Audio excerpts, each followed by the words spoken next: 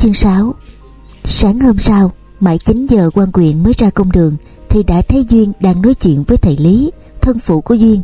Quan quyện sợ Duyên nói cho cha nàng biết câu chuyện hai đêm qua, Nên ông gọi thầy Lý. Quan quyện bảo với thầy Lý, Nhà tôi chưa về, Nên cô Duyên chưa lên trên cụ lớn nhà tôi được. Nóng ruột quá Ừ mà con gái thầy Lý ngoan lắm, Có lẽ cậu Bảy bằng lòng đó. Thầy Lý gãi tay lễ phép đáp Dạ bẩm quan lớn, Cháu Duyên có hiếu lắm, Chẳng bao giờ nó dám cãi lời con hết. Bẩm quan lớn, Trăm sự chi, Cha con tôi đều trông nhờ quan lớn hết. Quan huyện lên giọng đạo đức nói Ừ tôi thấy thầy Lý là người trung hậu Nên tôi cũng quý. Rồi đây, tôi sẽ nâng đỡ cho thầy Lý Kiếm chức phẩm hàm Và giữ chức cai tổng bình trà. Nghe quan huyện hứa cho làm cai tổng, Thầy Lý mừng phát rung lên. Dạ bẩm quan lớn được quan lớn thương như rứa, Thì thật là hồng phúc nhà con thật lớn. Đời con sinh sống Tết, Chết dỗ, Không bao giờ dám quên ơn quan lớn hết. Nghe qua câu chuyện quan quyền biết thầy Lý, Chưa biết chi về chuyện giữa quan lớn Với nàng Duyên, Con gái thầy Lý. Quan lớn mừng rỡ, Rút trong ví ra tờ giấy 500 đồng, cho thầy Lý. Thầy Lý cầm lấy mấy đồng đây mà tiêu ngang Thầy Lý ngần ngại không dám cầm, Vì sợ cầm tiền của quan quan trừ vào chức cai tổng thì chết. Chẳng thà nhịn đi một chút Để hưởng sao còn hơn. Dạ xin cảm ơn quan lớn, Con không dám lấy tiền quan lớn cho. Quan quyền nhét tiền vào tay thầy Lý. Bậy nào, Tôi cho thầy Lý Cứ lấy cho tôi bằng lòng.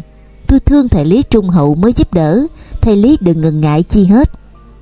Lúc này, thầy Lý mới dám cầm 500 đồng thì mừng như người vừa được cứu sống Sau trận ốm thập tử nhất sanh. Buổi trưa hôm ấy, bà quyện về, Thầy Lý vẫn còn ở huyện, Nên quan huyện bảo thầy Lý dắt duyên vào Để ông giới thiệu với bà quyện.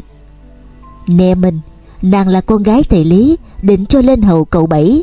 Vậy hôm nay, mình trở về Quế Đưa nó về luôn cho mạ mừng. Bà Quyện thấy Duyên xinh đẹp cũng đâm thương, Người đẹp như thế này mà vô hầu cậu bảy Thì quả là phí của trời. Bà ngần ngại khẽ nói với chồng. Trông cô ta xinh quá mình hè. Thật tội nghiệp, Đưa lên hầu thằng bảy thì thật phí đi. Trong thằng bảy em sợ quá, Không hiểu sao lại có người chịu được. Con gái thằng cũ tớm Đã có mang rồi đó. Cha nó được thầy cho đi đội lệ hậu lộc. Mà sợ thằng Bảy làm bậy Nên không cho con gái thằng cũ tớm hầu hạ thằng Bảy nữa. Quan nguyện cười đáp. Thì nó cũng là người chứ chi nữa. Nó cũng biết chuyện sanh con đẻ cái, Có gì là lạ đâu. Có khi nó khỏe hơn những người khác, Mấy cô lại thích nó hơn. Bà Quyện nguyết chồng, Mình nói kỳ quá, Ai mà chịu được bản mặt thằng Bảy? Mấy đứa con nhà nghèo, Cha nó muốn chút danh giá, Nên đem con vô hiến, Chứ con gái nhà ai mà chịu được thằng Bảy? Nghe nó tru lên mà phát ớn. Hôm nọ, mã biểu em Xuống thằng Bảy nằm coi, Nó tru cái chi mà tru dữ quá hè. Nhưng em sợ quá phải bảo thằng bác hèm xuống coi, Thì ra cậu nhớ vợ đội cho được con vợ nó xuống. Mà không chịu, Vì con vợ nó bụng đã bự quá rồi. Mà dục mình đưa đứa khác vô thay cho con vợ nó.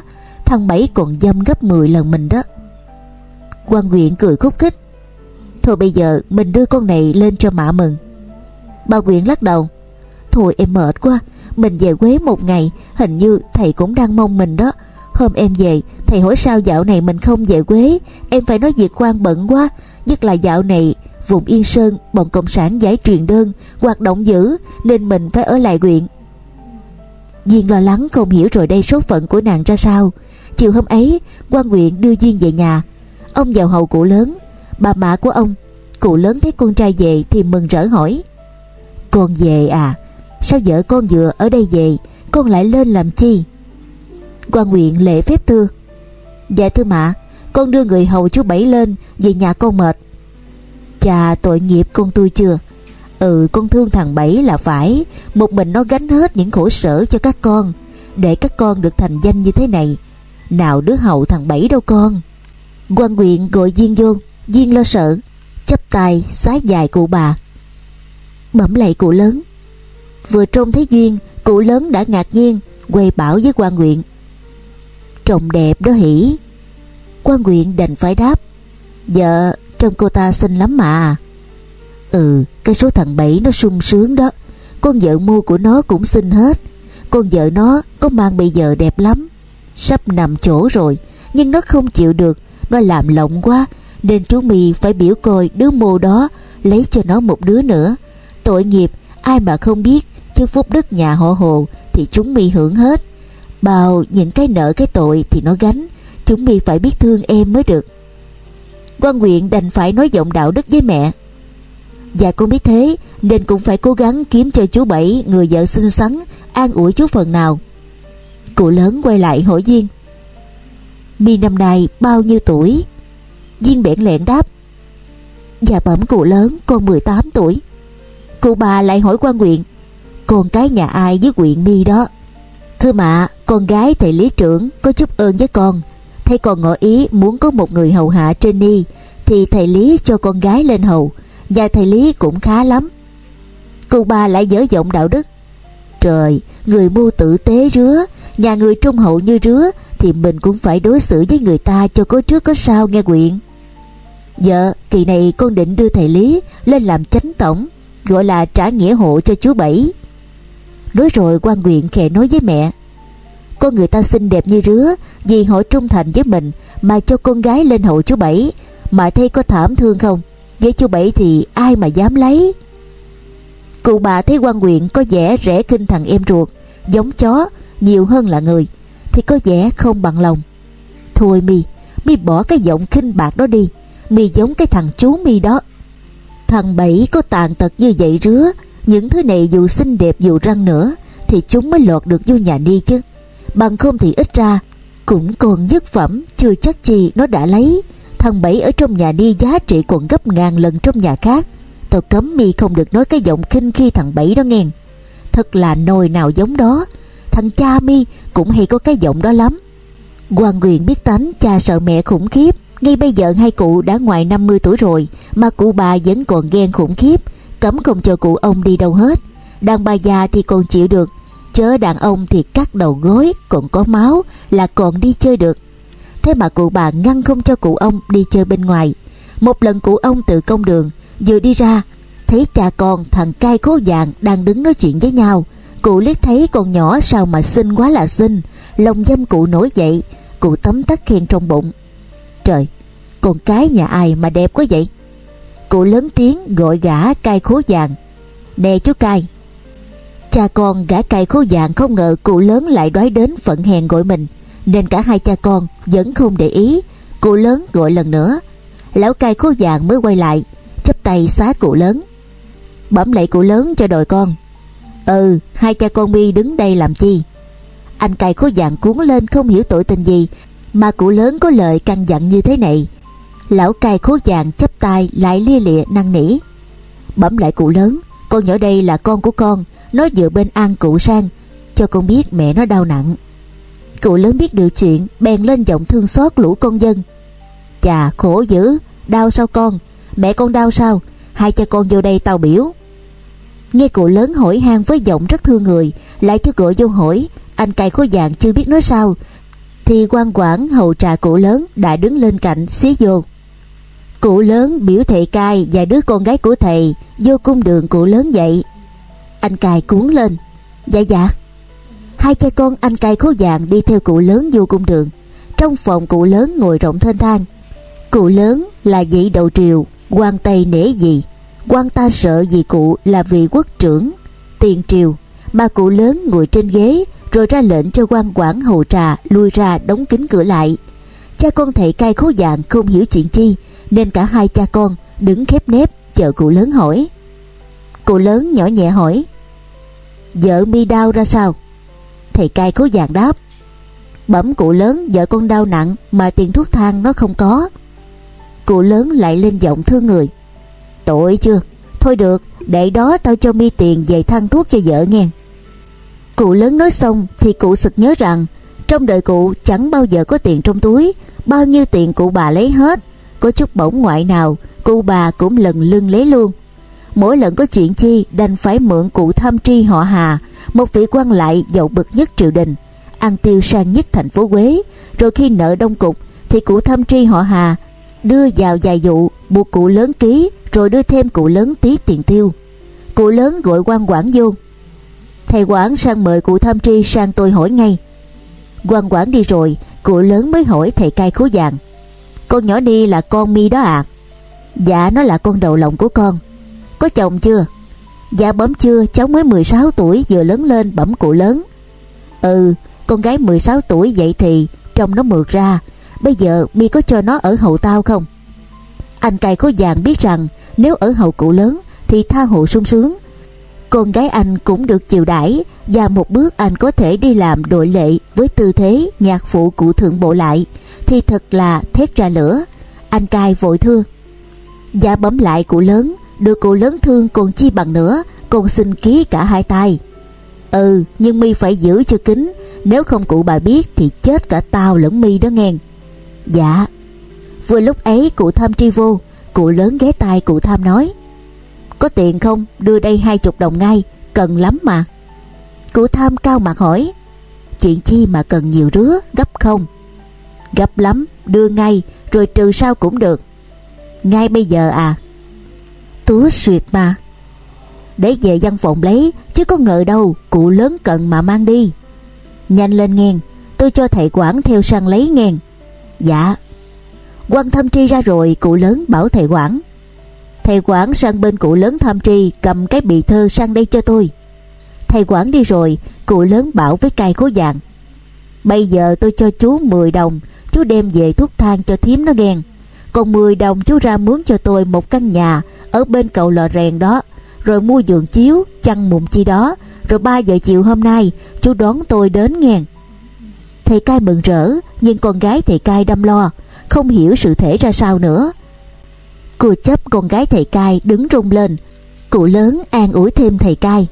Thu xếp xong nhà cửa, Nay đang khuyết chân đội lệ thăng bình, Tôi cho chú mày đi ngay. Thầy cai mừng rơn như người trúng số, Có tiền thuốc thang cho vợ, Rồi lại được đi đội lệ. Thì mấy chốc mà thầy không khá, Chỉ riêng chuyện sắp đi đội lệ Cũng đủ làm cho thiếm cai khỏe ru rồi. Thầy cai cầm tiền đi mướn nhà bên an cụ xong, Thì báo tin cho cụ lớn biết Để cụ lớn làm lễ nhập phòng với con gái thầy cai. Cụ lớn giữ rất kín chuyện vợ nhỏ, Vì cụ sợ cụ bà biết thì phiền lắm. Tánh cụ bà ghen khủng khiếp Tuy vợ chồng đã già rồi, Nhưng cụ bà vẫn không muốn cụ ông đi ngang về tắt. Chương 7 Từ ngày lập kính thêm một phòng với con gái thị cai khố vàng Cụ thường đến nhà cô vợ nhỏ. Vào những giờ làm việc Cụ nói dối là sang tòa khâm, Nhưng sự thật, cụ nằm với cô vợ nhỏ bằng tuổi cháu nội của cụ.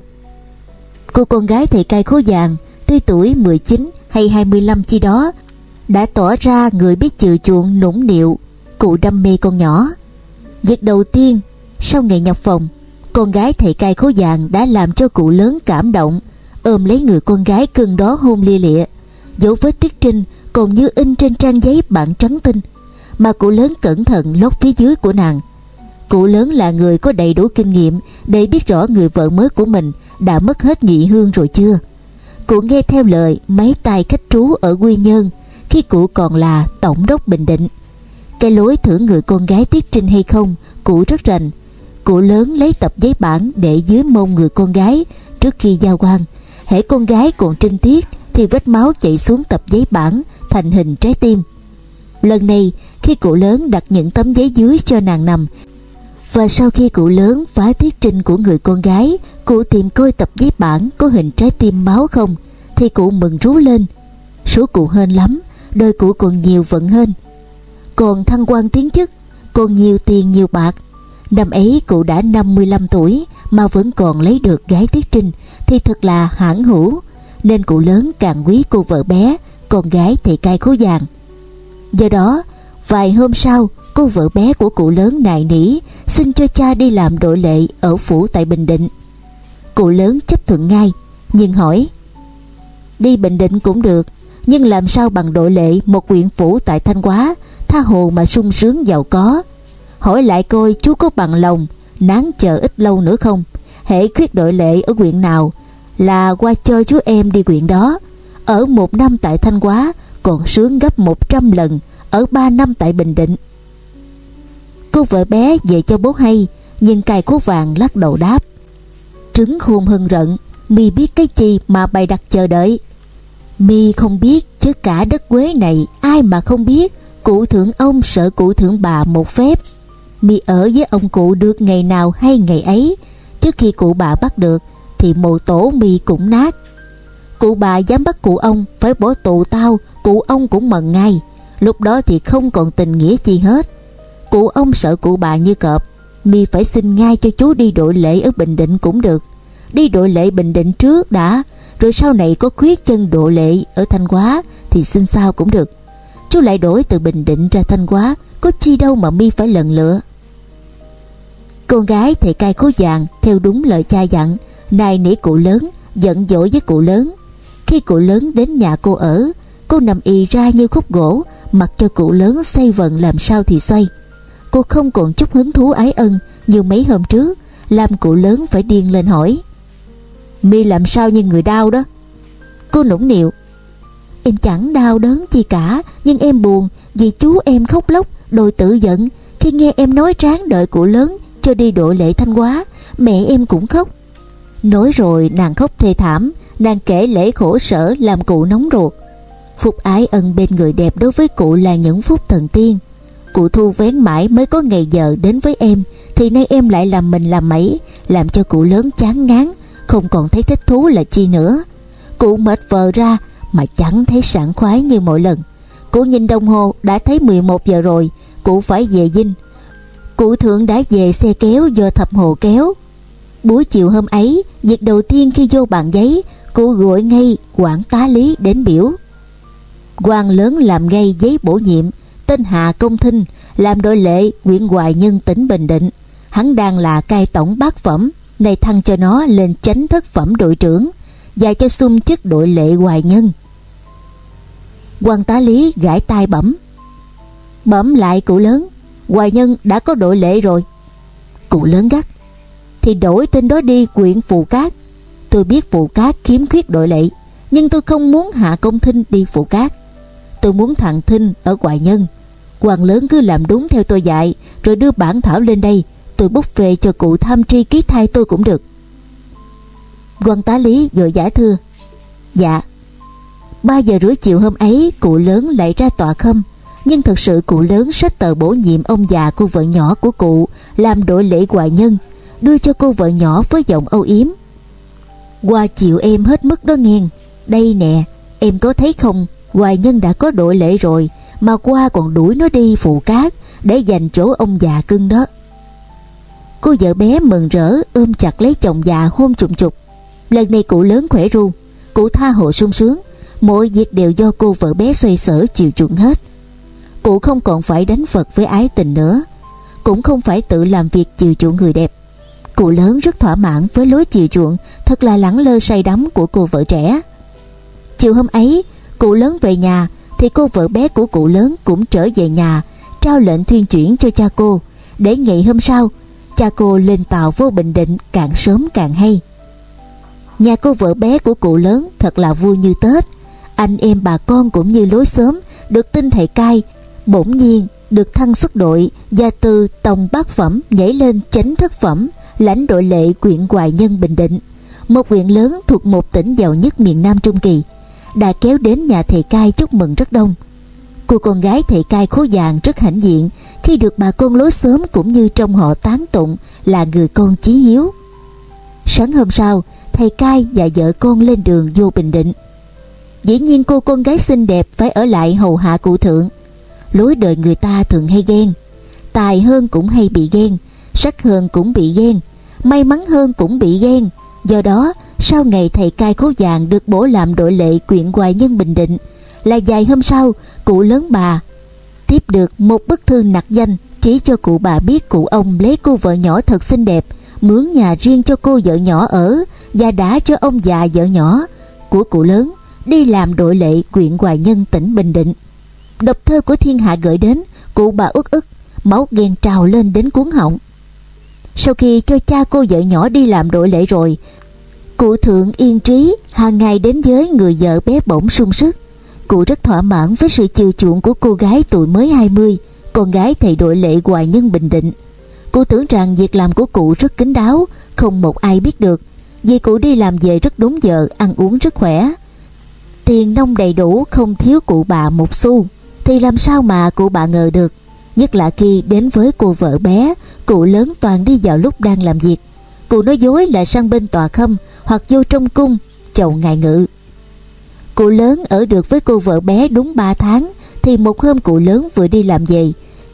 Chiếc xe kéo cộng đồng sáng loáng vừa đặt trên bệ tam cấp. Cụ lớn vừa bước xuống thì từ bên trong cụ bà đã cầm sẵn ngọn roi quất li lịa vào người cụ lớn. Miệng cụ chửi toán lên. Thằng già dê, thằng khốn nạn. Vì lấy con gái thay đổi cẩm cài khố dạng được mấy tháng rồi. Mi cho con đĩ đó bao nhiêu tiền? Vì sao thằng bác viễn xin mi đi đổi lễ mi không cho? Mi lại cho thằng cai khố vàng. Thằng bác viễn bằng lòng dân 500 đồng, sao mi không cho đi? Tao giết con khốn nạn đó rủ rê thằng già dây này. Cụ ông tái mặt không biết cãi ra sao nữa, nhưng chẳng lẽ đứng chịu trận để cụ bà hành hạ? Cụ lớn đành phải cãi. Bà hay quá, tôi chơi bời lúc mồ bà chỉ nghe những đứa khốn nạn mù thóc mắt mà làm khổ tôi thôi. Tôi đi mận mỗi ngày đúng giờ tôi về Thì giờ đâu mà đi chơi Thật là khổ quá Cụ bà càng lùng lên Khi nghe cụ ông chối cãi bị chối cãi không thằng già dê của nhà này, Mi dùng không được à? Hay là chỉ có con điếm đó mới có mà thôi? Mi muốn tao đưa cho Mi thấy tất cả không? Nói rồi cụ bà gọi vọng vô phía trong.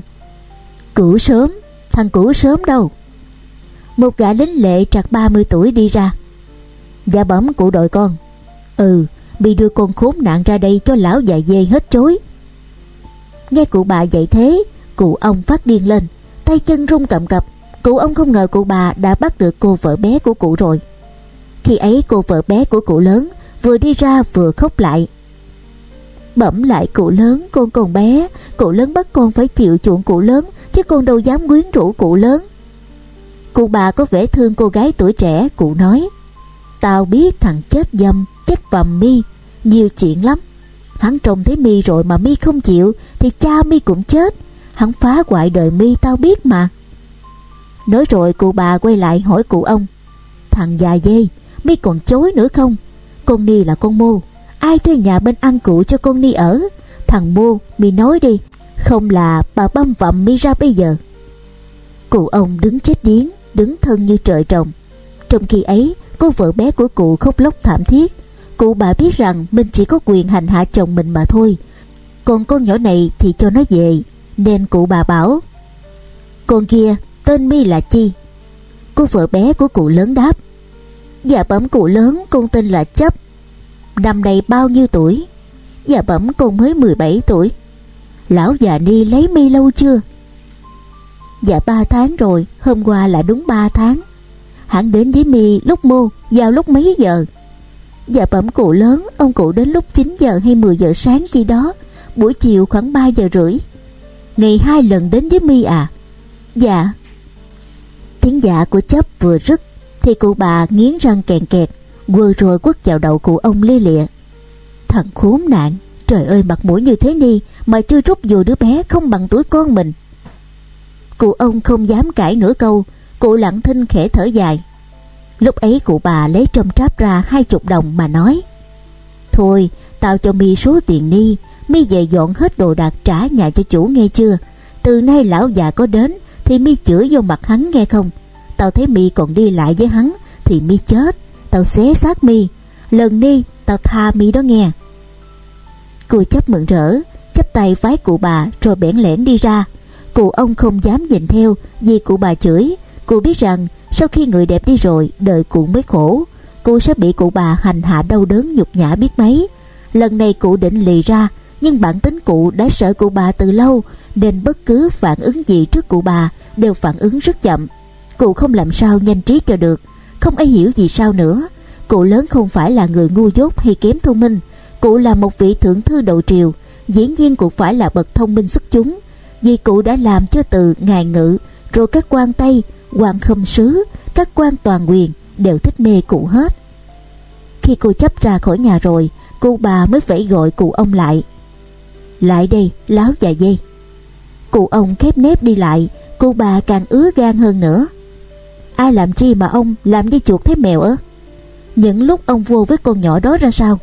Chứ ông cứ mạnh dạn cho rứa coi nào. Mỗi câu hỏi của cụ bà bằng một lát dao đâm vào ruột. Cụ ông cứ phải ngậm thinh không dám cãi lại. Bây giờ cụ bà muốn chi cụ ông vẫn phải chịu. Cụ ông đang uất hận, Không hiểu đứa mua thóc mắt Để cụ bà biết chuyện vợ lẽ của cụ. Đời cũng chẳng còn được bao lâu nữa, Chỉ mong có một chút lối già như thế, Mà cũng không lọt qua cặp mắt cú của mụ già quỷ quái này. Cụ bà nằm trên phản ngựa bóng loáng Còn cụ ông trốn rén trông thật thương hại. Điều may mắn cho đời cụ ông, Mỗi lần hành hạ thân xác của cụ ông, Cụ bà đều đóng kín cửa lại, Không cho đầy tớ bén lọn đến đây. Cụ bà thấy cụ ông rón rén Đi cất không lên bước Cụ đâm bực, Cụ nghiến răng ken két. Ôi cao ôi làm như sợ lắm.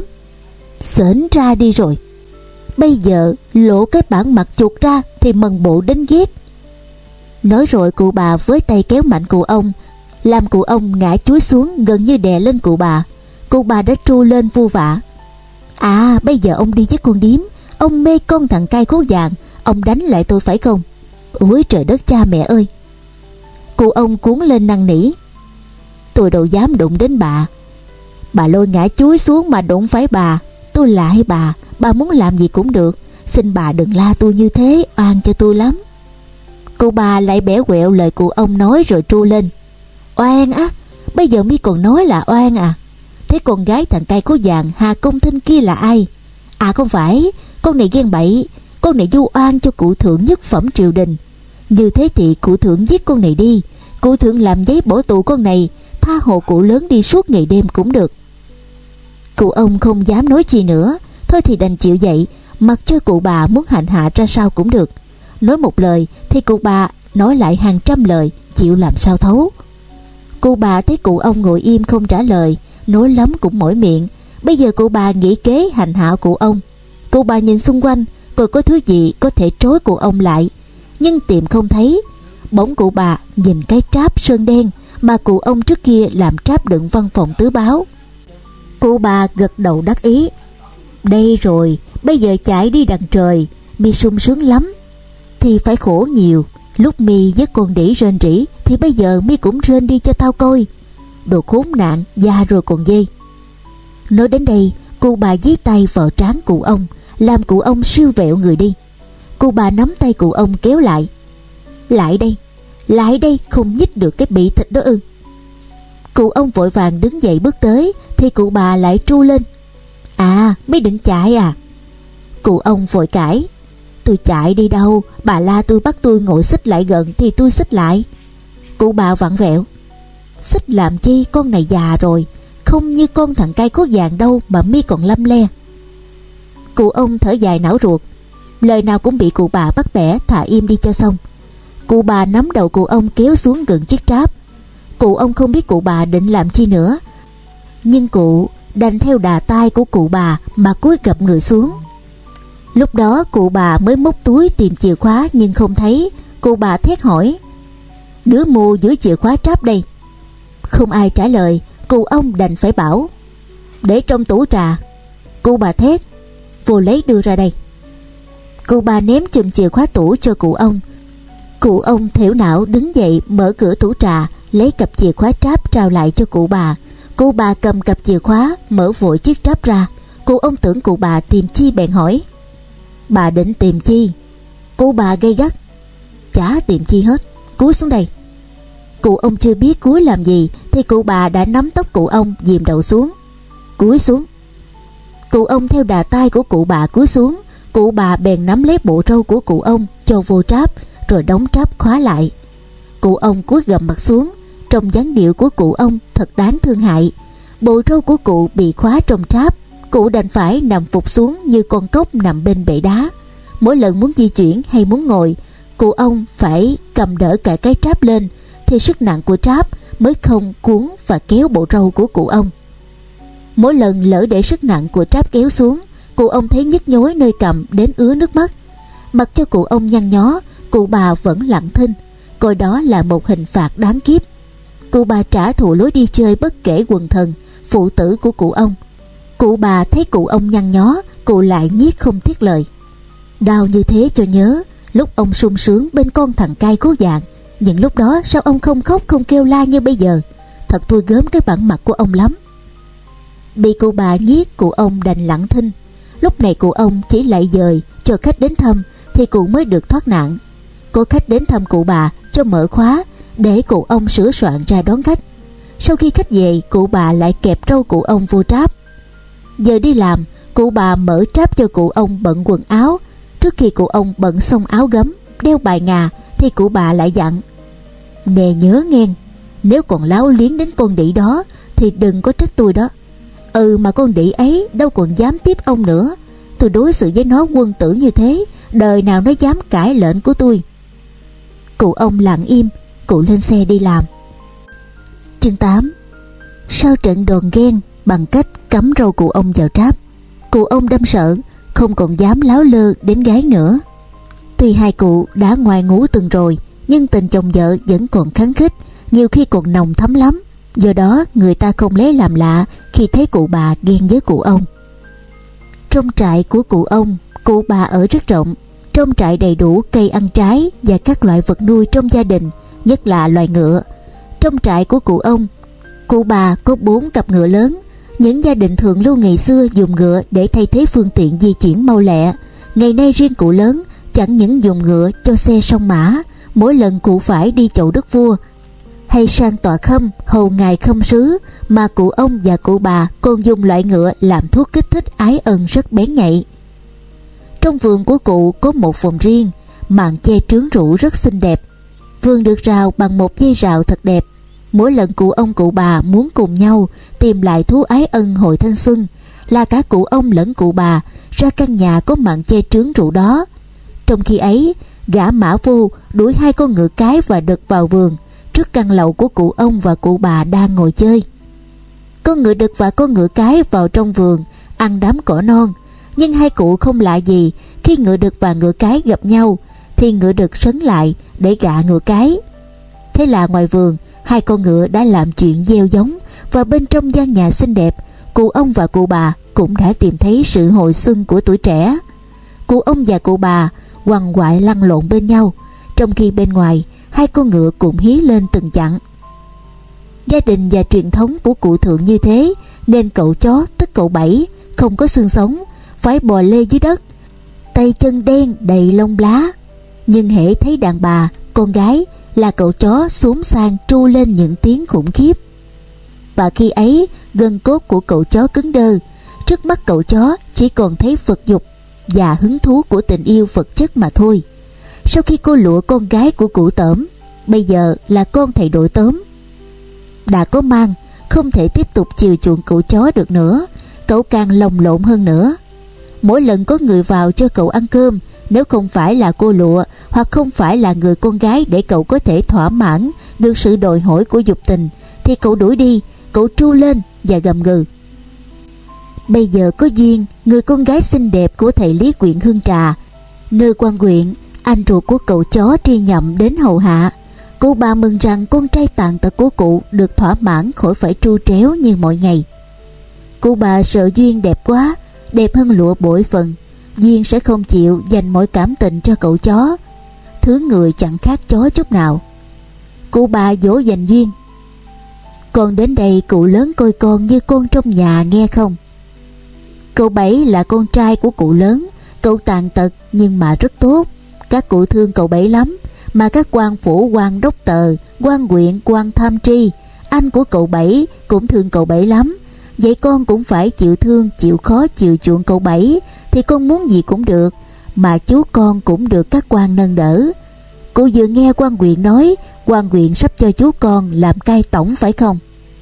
Duyên chỉ còn biết vợ để trả lời cụ bà. Duyên ở lại trại cụ thượng còn quan huyện trở về.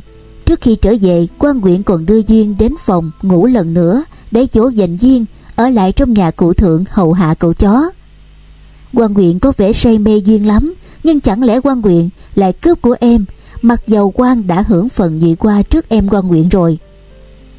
Lần này quan huyện dỗ dành Duyên, nói cho Duyên rõ là Duyên cũng sẽ được cậu Bảy coi như là vợ.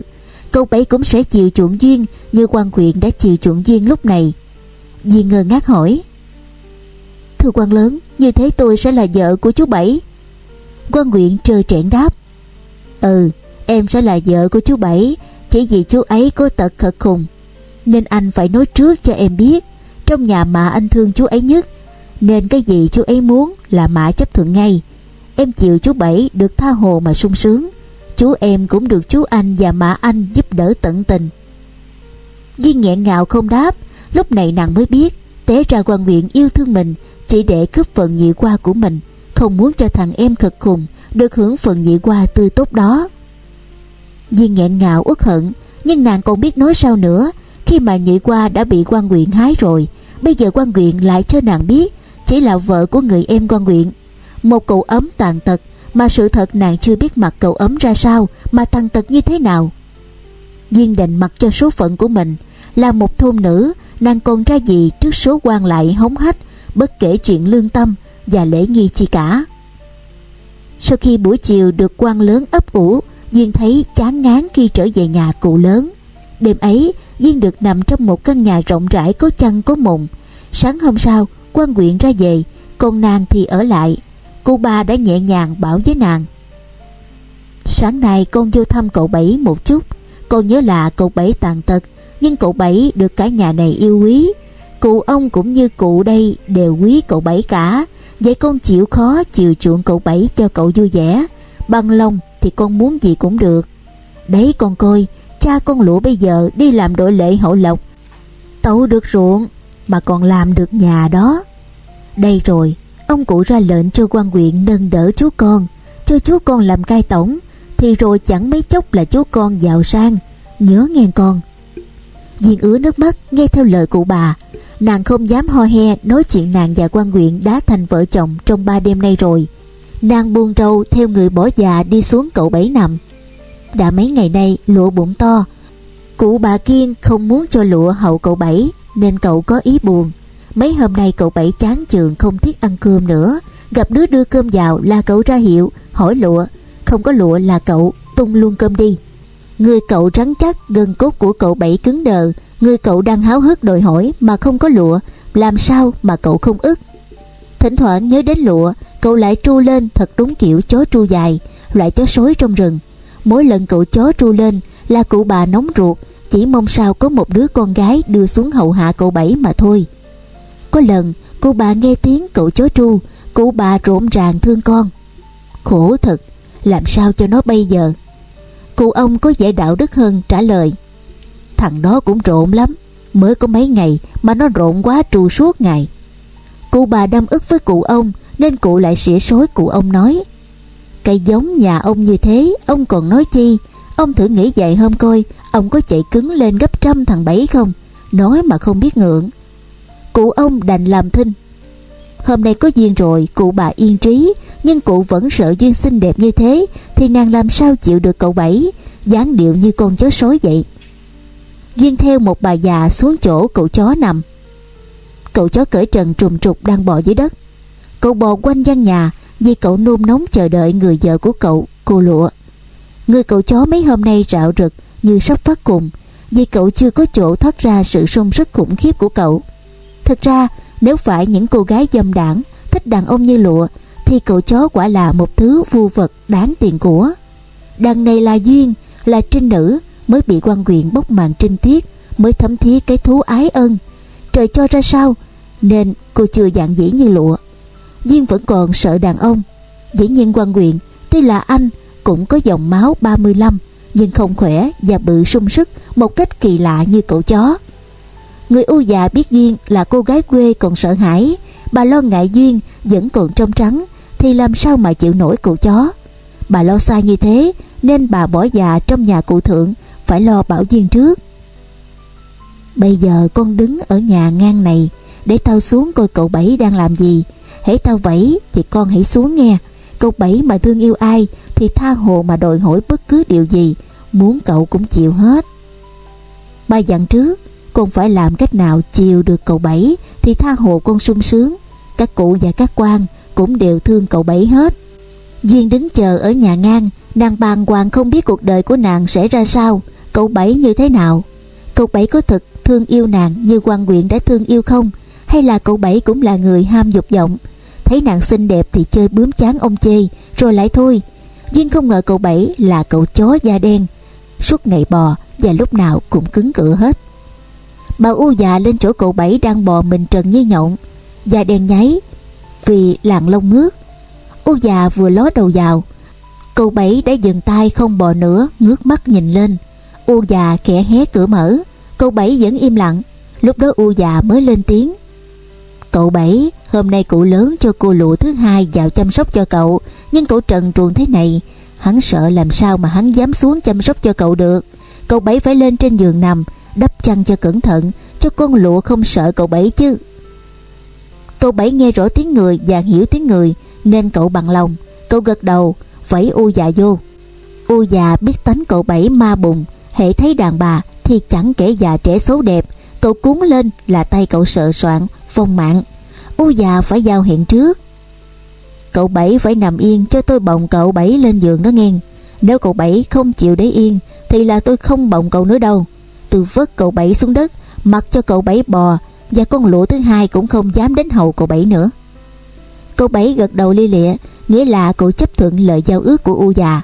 U già đẩy cửa bước vô nhà U già cúi xuống bồng cậu Bảy lên, Nhưng sức yếu, U phải cúi sát xuống Mới lấy nội sức bồng cậu Bảy lên giường, Thì U già đã thở rống lên rồi. Cậu Bảy ngửi thấy hơi đàn bà, Cậu cuốn lên, Thế là cậu ôm chậm lấy U già. Quá mệt, nên U cũng gục xuống, Chẳng còn biết chống đỡ ra sao nữa. Thế là cậu Bảy đưa tay sờ soạn Làm U già giật mình, Rồi hất tay cậu Bảy ra chửi thề. Đồ khốn nạn. U già vùng dậy, Nhưng cũng dặn cậu Bảy Nằm yên đó nghe. Hãy động đậy. Nó xuống trông thấy cái dáng điệu ma quỷ của cậu là nó chạy đó. Không dám lại gần nữa. Lúc đó thì đừng có rống lên nữa, vô ích. Con cái người ta xinh đẹp như tiên, Xinh như mộng, Mà phải đem dân hiến cho thứ cậu Thì cũng là khổ tâm lắm rồi đó. U dạ ra ngoài cửa, Nhìn về phía nhà ngang, Thấy Duyên đứng thẫn thờ, dáng điệu thật thương hại. U dạ vẫy Duyên xuống, Nhưng Duyên không chú ý đến nhà cậu Bảy. Nàng không thấy U dạ vẫy Nên Duyên không xuống. U dạ phải lên tiếng gọi, Duyên giật mình nhìn về chỗ có tiếng U dạ Thấy U dạ đang vẫy. Nàng Duyên lật đật đi xuống nhà ngang.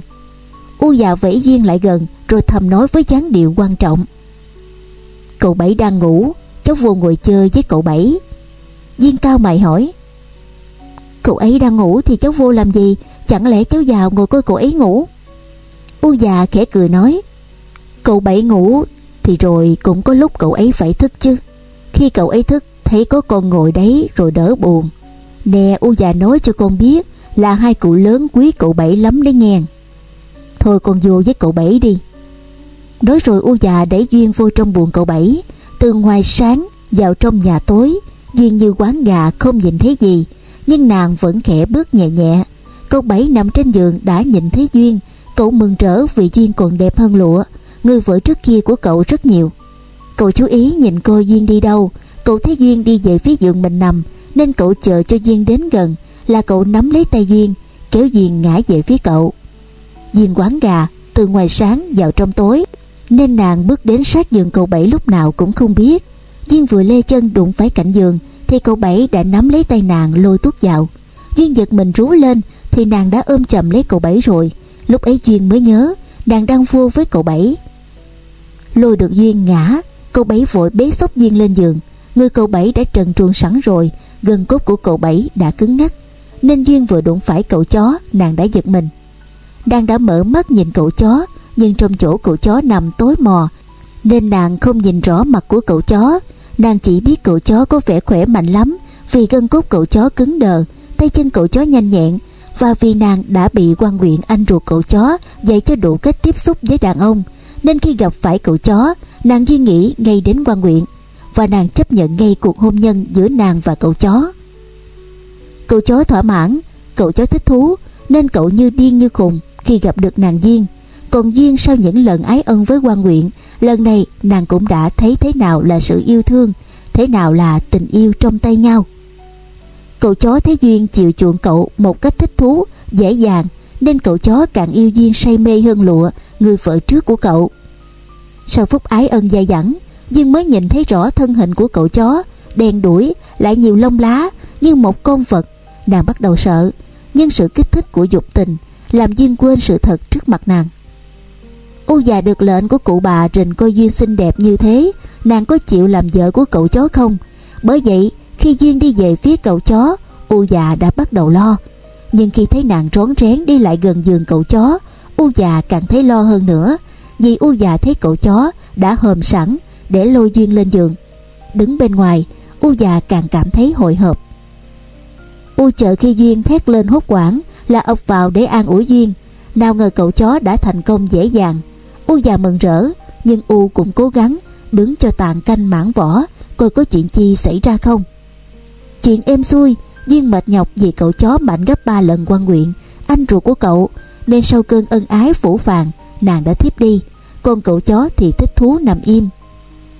U già lật đật trở lên phòng khách Để trình với cụ bà là mọi việc đã êm. Gặp cụ bà, U già cười nói, Bẩm cụ lớn, xong hết rồi. Cụ lớn muốn nghe cho rõ mọi việc, Bèn hỏi lại, Xong rồi là làm sao?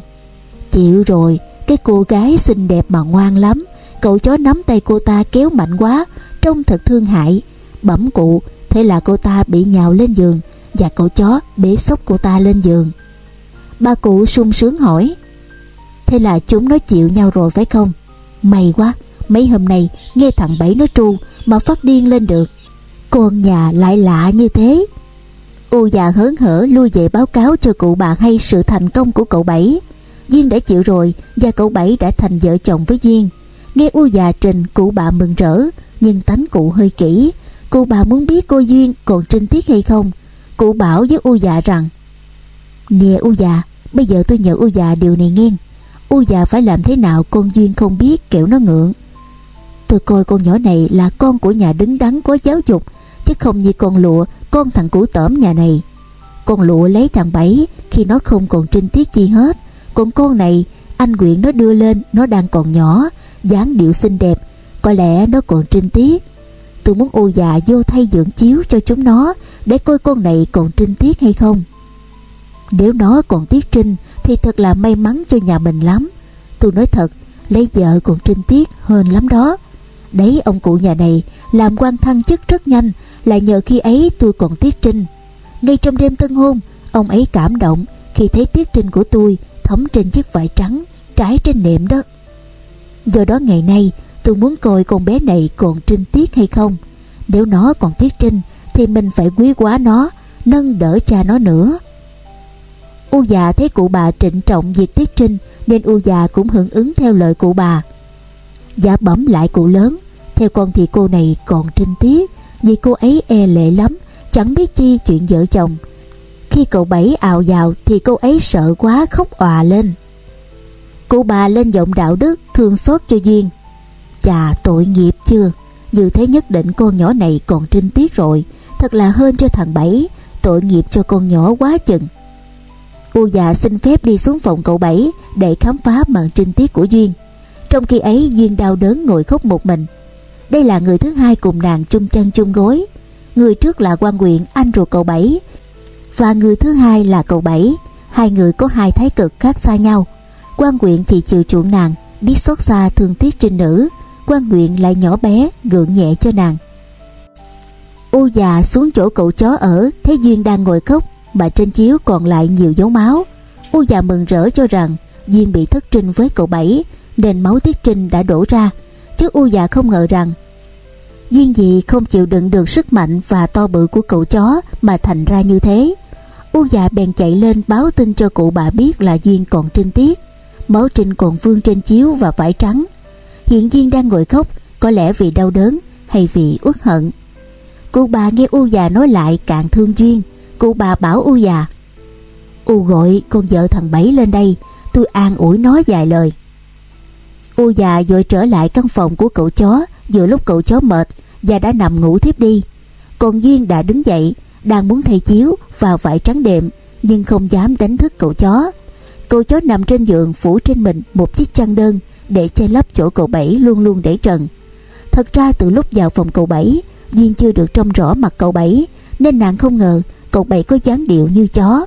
Nếu Duyên được nhìn thấy cậu Bảy bò dưới đất bằng hai tay và hai chân và cậu tru lên, có lẽ nàng chẳng bao giờ chịu chấp nhận sự ái ân với cậu chó.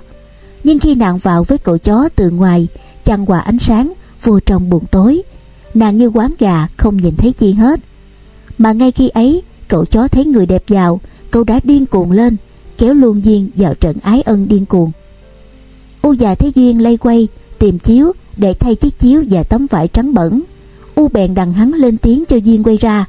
Lúc ấy U già mới vẫy Duyên ra. Duyên tưởng chuyện chi nàng lật đật mở cửa đi ra.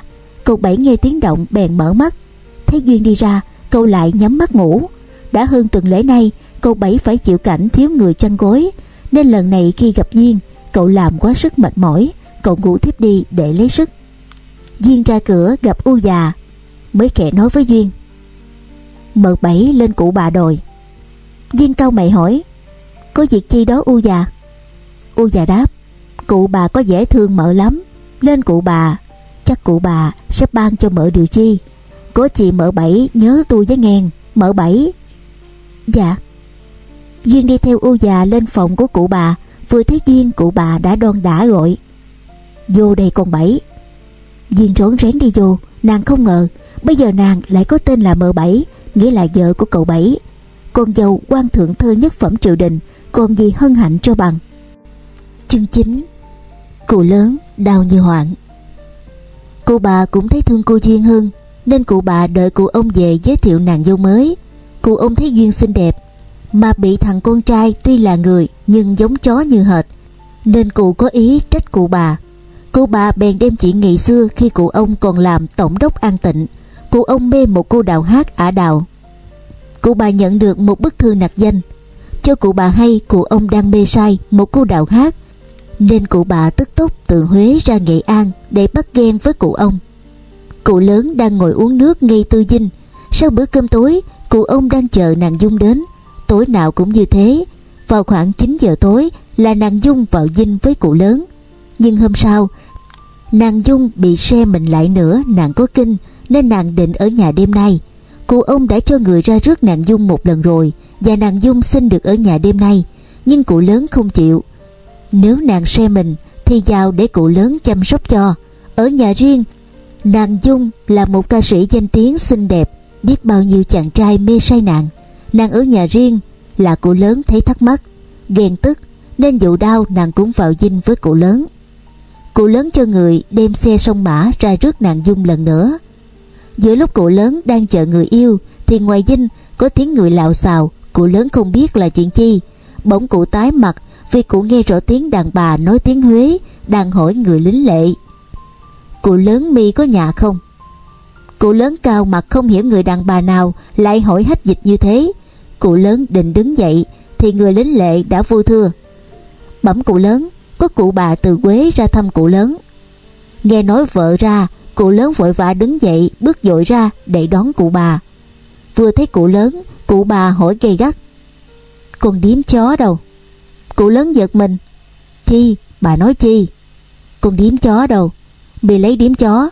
Con Dung ả đào ở Nghệ An đây mà. Cô lớn giật mình lo ngại. Cô sợ chiếc xe sông mã đi đón Dung về lúc này Thì thật là tan quan cô lớn đành phải xuống nước. Đứa mù ác đức nói tạm bậy cho bà từ Quế ra đây. Cô bà chạy sộc vào trong buồng để tìm kiếm, Nhưng chẳng thấy chi. Cụ ông sợ quá, Đành phải gọi gã lính lệ, Bảo ra đón ngoài cổng thành. Hệ thấy chiếc xe sông mã đi đón Dung về, Thì bảo quay lại vì có cụ bà từ Quế ra. Gã lính lệ chạy ra ngoài thành đứng chờ. Cụ bà tìm không thấy nàng Dung, Cô lồng lộn lên, Kéo râu cụ ông vào trong buồng rồi hỏi, Con điếm chó đâu? Mị cho hắn ở đâu? Cụ lớn thiểu não nói, Đâu có, Bà chỉ nghi oan cho tôi, Không biết thằng khốn nạn mô nó làm chuyện thất đức này, Làm cho bà lật đật tự quế ra. Sao bà không cho tôi biết để tôi cho người đi đón? Ở ngoài này quạnh hiu một mình cũng đang mong bà ra. Khi bà ra, bà lại làm như thế ni Thì chết tôi rồi. Cụ bà không ngờ đó là điều may mắn lớn của cụ ông. Tối đó nàng Dung bị đau và có kinh, Nên tối đó không vào dinh với cụ ông. Do đó cụ ông tạm thời thoát nạn. Cụ bà thấy cụ ông rên quá, Cũng đâm thương, Và cụ cho rằng mình đã nghi oan cho chồng. Tối hôm ấy, Cụ đã làm tròn nhiệm vụ của người chồng xa vợ lâu ngày.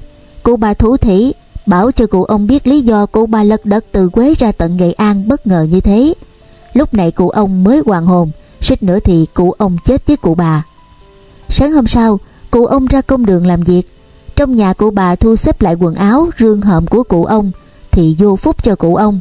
Cụ bà bắt được mấy chiếc quần lót và bộ tóc đuôi gà của nàng Dung để lại trong phòng của cụ ông. Bắt được bằng chứng đầy đủ. Cụ bà cho lính lệ ra gọi ngay cụ ông vào tư dinh. Cụ ông không hiểu là chuyện chi, nhưng vì tối qua cụ ông cậy mình đã làm quá sức người chồng đối với người vợ, nên cụ nghênh ngang vào chỗ cụ bà ở. Nào ngờ cụ ông giữ bước chân vào chỗ cụ bà ngồi thì bất ngờ cụ bà cầm một mớ quần lót và chiếc đuôi gà của nàng Dung đập thẳng vào mặt của cụ ông và la thét lên. Mi còn chối được nữa không? Đây là những cái chi đây? Những thứ ni của con điếm chó á đào phải không? Hiện nay con điếm chó đó ở đâu? Mi phải biểu cho tao biết để tao đến, tao xé con điếm chó đó. Cụ ông chết điếng người, không còn biết chối cãi ra sao nữa. Cụ bà thấy cụ ông đứng im chịu trận, lại càng rống lên khủng khiếp. Cụ bà đập phá tứ tung. Cụ ông sợ bọn lính hầu trong dinh biết thì thật là xấu hổ. Cụ ông đang ức với cụ bà. Nhưng cụ ông không còn biết làm cách nào để chống đỡ thì vô phúc cho viên đội lệ, hầu trong dinh lọ dọ đi tới. Chứng kiến cảnh cụ ông bị cụ bà chửi rủa hành hạ cụ ông liền trút hết căm hận vào đầu gã đội lệ này. Cụ lớn, thét lớn, chửi rủa. Mi vô đây làm chi? Tiên sư mi vô đây làm chi? Chửi rồi cụ ông phát hèo đập. Thầy đổi thông minh, biết rằng mình chịu trận hộ cụ lớn, nên thầy không dám phản đối. Thầy đổi lệ đành ôm đầu chạy. Thầy đổi lệ chạy rồi, cụ bà lại hành cụ ông, cụ bắt buộc cụ ông phải chỉ ngay chỗ ở của nàng Dung cho cụ đến. Cụ ông vang lại cụ bà đủ kiểu mà cụ bà vẫn không chịu. Cụ bà ra lệnh. Nếu mi không chỉ cho con điếm chó đó, thì mi về quế không làm tổng đốc nữa. Làm để làm chi? Mi phản bội lại vợ con à? Tao về quế tâu với Đức Hoàng thượng, vận động với tọa khâm kéo mi về. Về làm tham tri cũng được. Từ chức, tổng đốc an tịnh nhất phẩm triều đình nếu về kinh thì phải thân thượng thư chứ ai lại đi mừng tham tri như thế là xuống chức à? Nhưng với máu ghen của cụ bà thì dám lắm. Cụ bà dám vô nội tâu hót với bà Thái Hậu, Vốn là hoàng hậu của thiên đế. Để xin đổi cụ ông về kinh, làm tham tri cũng được. Cụ bà cũng dám sang bên tòa khâm, Nói với ngài khâm sứ, Để xin đổi cụ ông về kinh. Nên khi nghe cụ bà dọa về kinh, Cụ lớn đâm lo. Cụ lớn quỳ rạp xuống lại cụ bà. Rồi tôi xin chỉ cho mình biết chỗ của con đó ở. Khổ quá, mình có ghen cũng phải nghĩ đến danh giá của tôi. Phải chi tôi cũng là tổng đốc an tịnh, mình làm xấu nàng thì khổ ai, tôi gian mình. Cụ bà đai nghiến. Lúc mù, mi chỉ nhà con điếm chó. Chiều nay. Thôi được, tao cho mi chiều nay, mi phải đưa tao ra tận nhà con điếm chó đó nghe. Cụ ông đành phải dâng lời, Mai khi ấy có lính lệ vào bẩm lạ có cụ lớn công sứ sang chơi Xin mời cụ ông ra tiếp khách Cụ ông vội vã ra lau mặt, Rồi thay đổi quần áo đã bị cụ bà giày vò nhầu nát hết. Cụ ông đeo bài ngà ra cổng đường, Ngồi chờ cụ lớn công sứ Vinh Sang. Tiếng kèn xa hơi của cụ lớn công sứ rống lên từ ngoài thành, Thì viên đội lệ vừa bị cụ lớn đập Đã khép nép vào báo tin. Bấm lại cụ lớn, Xe cụ sứ đã đến. Thấy thầy đội lệ, Cụ lớn đâm hối hận, Cụ lấy trong ngăn kéo ra hai đồng, Gọi thầy đội lại khẽ nói Thầy đội bằng lòng thấy nghe. Tôi nóng thầy cũng bỏ qua cho tôi. Cầm lấy hai đồng này ra uống rượu nghe. Thầy đội lệ cúm núm lấy tạ cụ lớn rồi lui ra. Ngay khi ấy, Xe cụ sứ đã vô. Nhưng cụ lớn sực nhớ đến điều chi Bèn gọi. Thầy đội ơi, tôi nhờ thầy đội điều ni nghe. Thầy đội vội trở lại, chắp tay vái cụ lớn. Và bấm cụ lớn gọi con. Ừ tôi nhờ thầy điều ni. Thầy giúp hộ tôi nghe thầy cầm thêm mấy đồng đây nữa mà đi xe. Thầy đội lệ lắng nghe coi cụ lớn say điều chi. Cụ lớn kéo thầy đội lại gần mình, rồi cụ lớn đưa mắt nhìn vào phía trong, coi có người mua rình không. Không thấy ai, cụ lớn mới khẽ nói. Thầy biết nhà cô dung đó chứ? Thầy đội ngơ ngác thì cụ lớn đã nói tiếp. Cô dung cống đệ nhị đó mà, dung mà vẫn vô đây đó. Gia bấm cụ lớn con biết. Phải đúng đó, cô dung cống đệ nhị Chắc thầy biết cô là vợ nhỏ của tôi. Không biết đứa khốn nạn mô Mà theo lẻo mách với nhà tôi, Nên nhà tôi tự quế ra đây bắt ghen. Nhà tôi tìm thấy quần áo của cô Dung trong phòng của tôi, Nên bà ấy ghen quá. Hôm nay bà bắt tôi Phải đưa ra tận nhà cô Dung cho bà ấy đánh ghen. Thật chết tôi rồi còn chi nữa. Bây giờ thầy làm ơn ra ngay nhà cô Dung, Biểu cho cô biết cô tạm thời lánh đi. Dạ bẩm, cô dọn nhà đi. Cụ ông tái mặt nói. Không được dọn nhà đi đâu. Cô Dung chỉ tránh đi thôi. Để khi tôi đưa nhà tôi ra Thì không có cô Dung ở nhà. Chứ dọn nhà đi, Bà biết tôi suối thì càng chết tôi nữa Thầy hiểu chưa? Dạ. Thay đổi lễ vội vàng lấy xe máy, Đạp thật nhanh ra nhà cô Dung Để báo tin cho cô Dung biết chuyện chẳng lành đó. Trong khi cụ lớn công sứ sang ngồi nói chuyện với cụ lớn tổng đốc, Thì cụ bà đang nóng lòng, Chờ cụ lớn vô Để bắt cụ lớn đưa đến nhà vợ nhỏ của cụ lớn. Cho cụ bà điểm mặt con điếm chó, Dám mèo với cụ lớn Khi cụ bà còn ở Huế. Cụ lớn biết cụ bà đang nóng lòng chờ đợi, Và chưa biết đội lệ ra nhà nàng Dung ra sao nữa, Nên cụ lớn làm cái quản binh, Cầm giữ cụ công sứ lại ngồi nói chuyện. Vì là cụ lớn công sứ Pháp, Người có thể thay đổi cụ tổng đốc dễ dàng, Nên cụ bà tuy nóng ruột Mà không dám dục. Trong khi thấy cụ lớn và cụ sứ nói chuyện quá lâu, Cụ bà đành phải viết mạnh giấy nhỏ cho chú lính lệ đưa ra cho cụ lớn Này, mi có đi hay không hay là mi định kéo dài thời gian cho con điếm chó trốn phải không?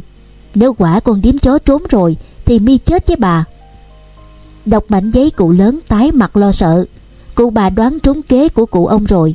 Cụ than trời trong bụng. Cụ không hiểu vì sao đám đàn bà hay ghen lại có nhiều linh ứng như thế. Cụ lớn đành phải tiễn cụ sứ ra về. Cụ ra đến tam cấp thì gặp thầy đội còn đứng ngoài đó. Cụ lớn hỏi, Thế nào, xong chưa?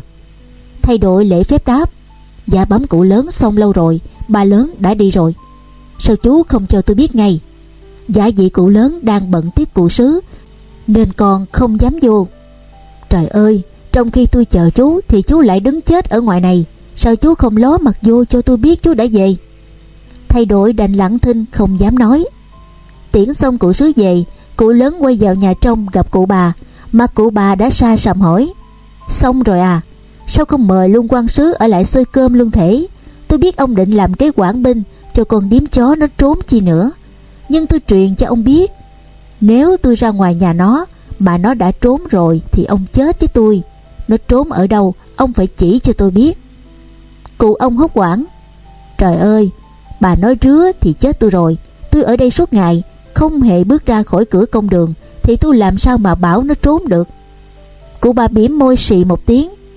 Chà, ông khôn quá mà, Tôi còn lạ chi ông nữa, Tôi là vợ ông gần hai chục năm nay, Tôi sao không biết tánh ông?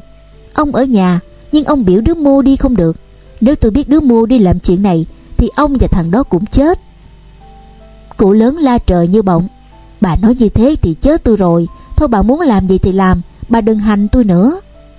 Cụ bà thét lên như sấm. À bây giờ mi định không đi nữa hay sao?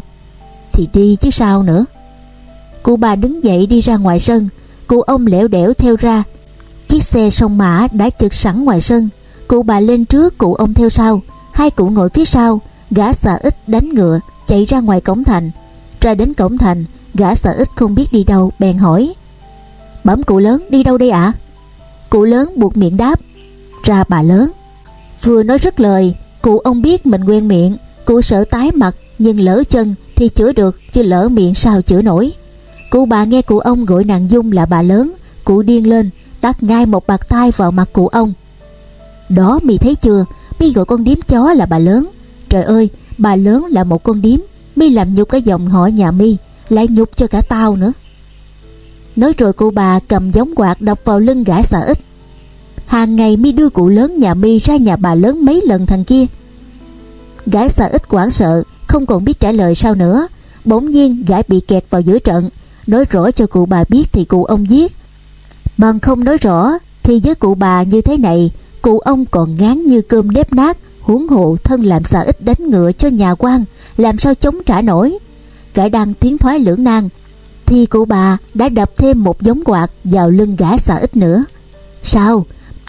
Mi cũng định A Tòng Với thằng thầy Mi phải không? À té ra bọn này cũng một lũ với nhau hết. Gã sợ ít hốt quảng đáp Dạ bẩm cụ lớn, Hôm nay con mới đi lần đầu. Mỗi ngày anh cũ sáng làm sợ ít đánh xe rước cụ lớn. Cụ bà nghiến răng hỏi, Lần đầu mà cụ lớn mi bảo mi ra nhà bà lớn, mi làm sao biết được nhà bà lớn mi? Dạ bẩm chính con cũng không biết. Nói láo. Thì nói không biết nhà bà lớn, vợ nhỏ của cụ lớn. Nhưng gã xả ít vẫn cho xe chạy về cống đệ nhất nơi Dung ở. Xe ngừng trước một căn nhà trệt quét vôi vàng, trong nhà bày biện rất sang trọng. Cụ bà hỏi, đến rồi phải không? Dạ, xuống. Nhà con điếm chó sang quá mà, thảo nào chẳng tháng nào gửi tiền về đủ hết. Cụ ông quá ức cãi, thì lương 120 đồng, tôi gửi về đủ cho bà mà. Cụ bà câu mặt nghiến răng, chỉ có lương không thôi hả? Còn làm quan là nhịn đói đi mần đó phải không? Tiền lương bao nhiêu? Bao bổng lột chi, mi đem cho con điếm chó ni hết, nên nó mới sắm nhà trang hoàng đẹp như thế này chứ. À nhà của bà tổng đốc mà lý. Cụ bà nói xong xăm xăm vào trong nhà Dung. Trong nhà chỉ có một bà già đang quét nhà. Cụ bà hỏi, Nè mụ kia, Cô chủ của mụ đâu? Mụ ở ngẩng đầu lên thấy cụ lớn, Mụ hốt quảng chấp tay xá. Bẩm lại cụ lớn Dạ bẩm cụ lớn, cô con đi chơi từ sáng. Cụ bà thét lên, Đi mô. Dạ tôi không biết cô tôi đi mô nữa. Mới đi hay là đi đã lâu? Dạ đi từ lúc thầy đội trong dinh ra bảo cô tôi thế nào không biết. Cô tôi khóc rồi bận quần áo ra đi. Nghe nói có thầy đội trong dinh Cô bà lồng lên nghiến răng hỏi, Thầy đội trong dinh là thầy đội mô? À té ra chúng mày a tộn với nhau, Cho con điếm chó chạy mất phải không? Trời ơi Thế ni mà hắn còn chối mãi. Tao nói thiệt đó nghe. Mi mà không gọi con điếm chó về đây, Thì thôi, mi đừng làm tổng đốc nữa nghe không? Cụ ông tái mặt lo sợ. Cụ sợ lối sớm nghe được câu của bà nói, Thì còn chi là chức dưới tước tổng đốc đại thần nữa. Cụ ông đành phải năn nỉ cụ bà. Một mặt, dọa mụ ở già.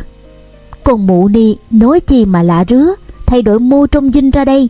Mi lựa lời mà nói, Không ông cắt lưỡi mi đó nghe. Đồ khốn nạn mới định phá gia can nhà ta phải không con kia? Nói xong rồi, cụ ông tác mụ người ở một bạc tay, Mụ người ở hốt quảng ôm mặt lũi vào trong. Trong khi đó, cụ bà vẫn la thét, Cụ đập hết đồ đạc của nhà Dung. Lối sớm nghe tiếng la thét, đập phá, Kéo lại coi rất đông. Cụ lớn tổng đốc, cứ đứng chịu trận, Không dám ngăn cản.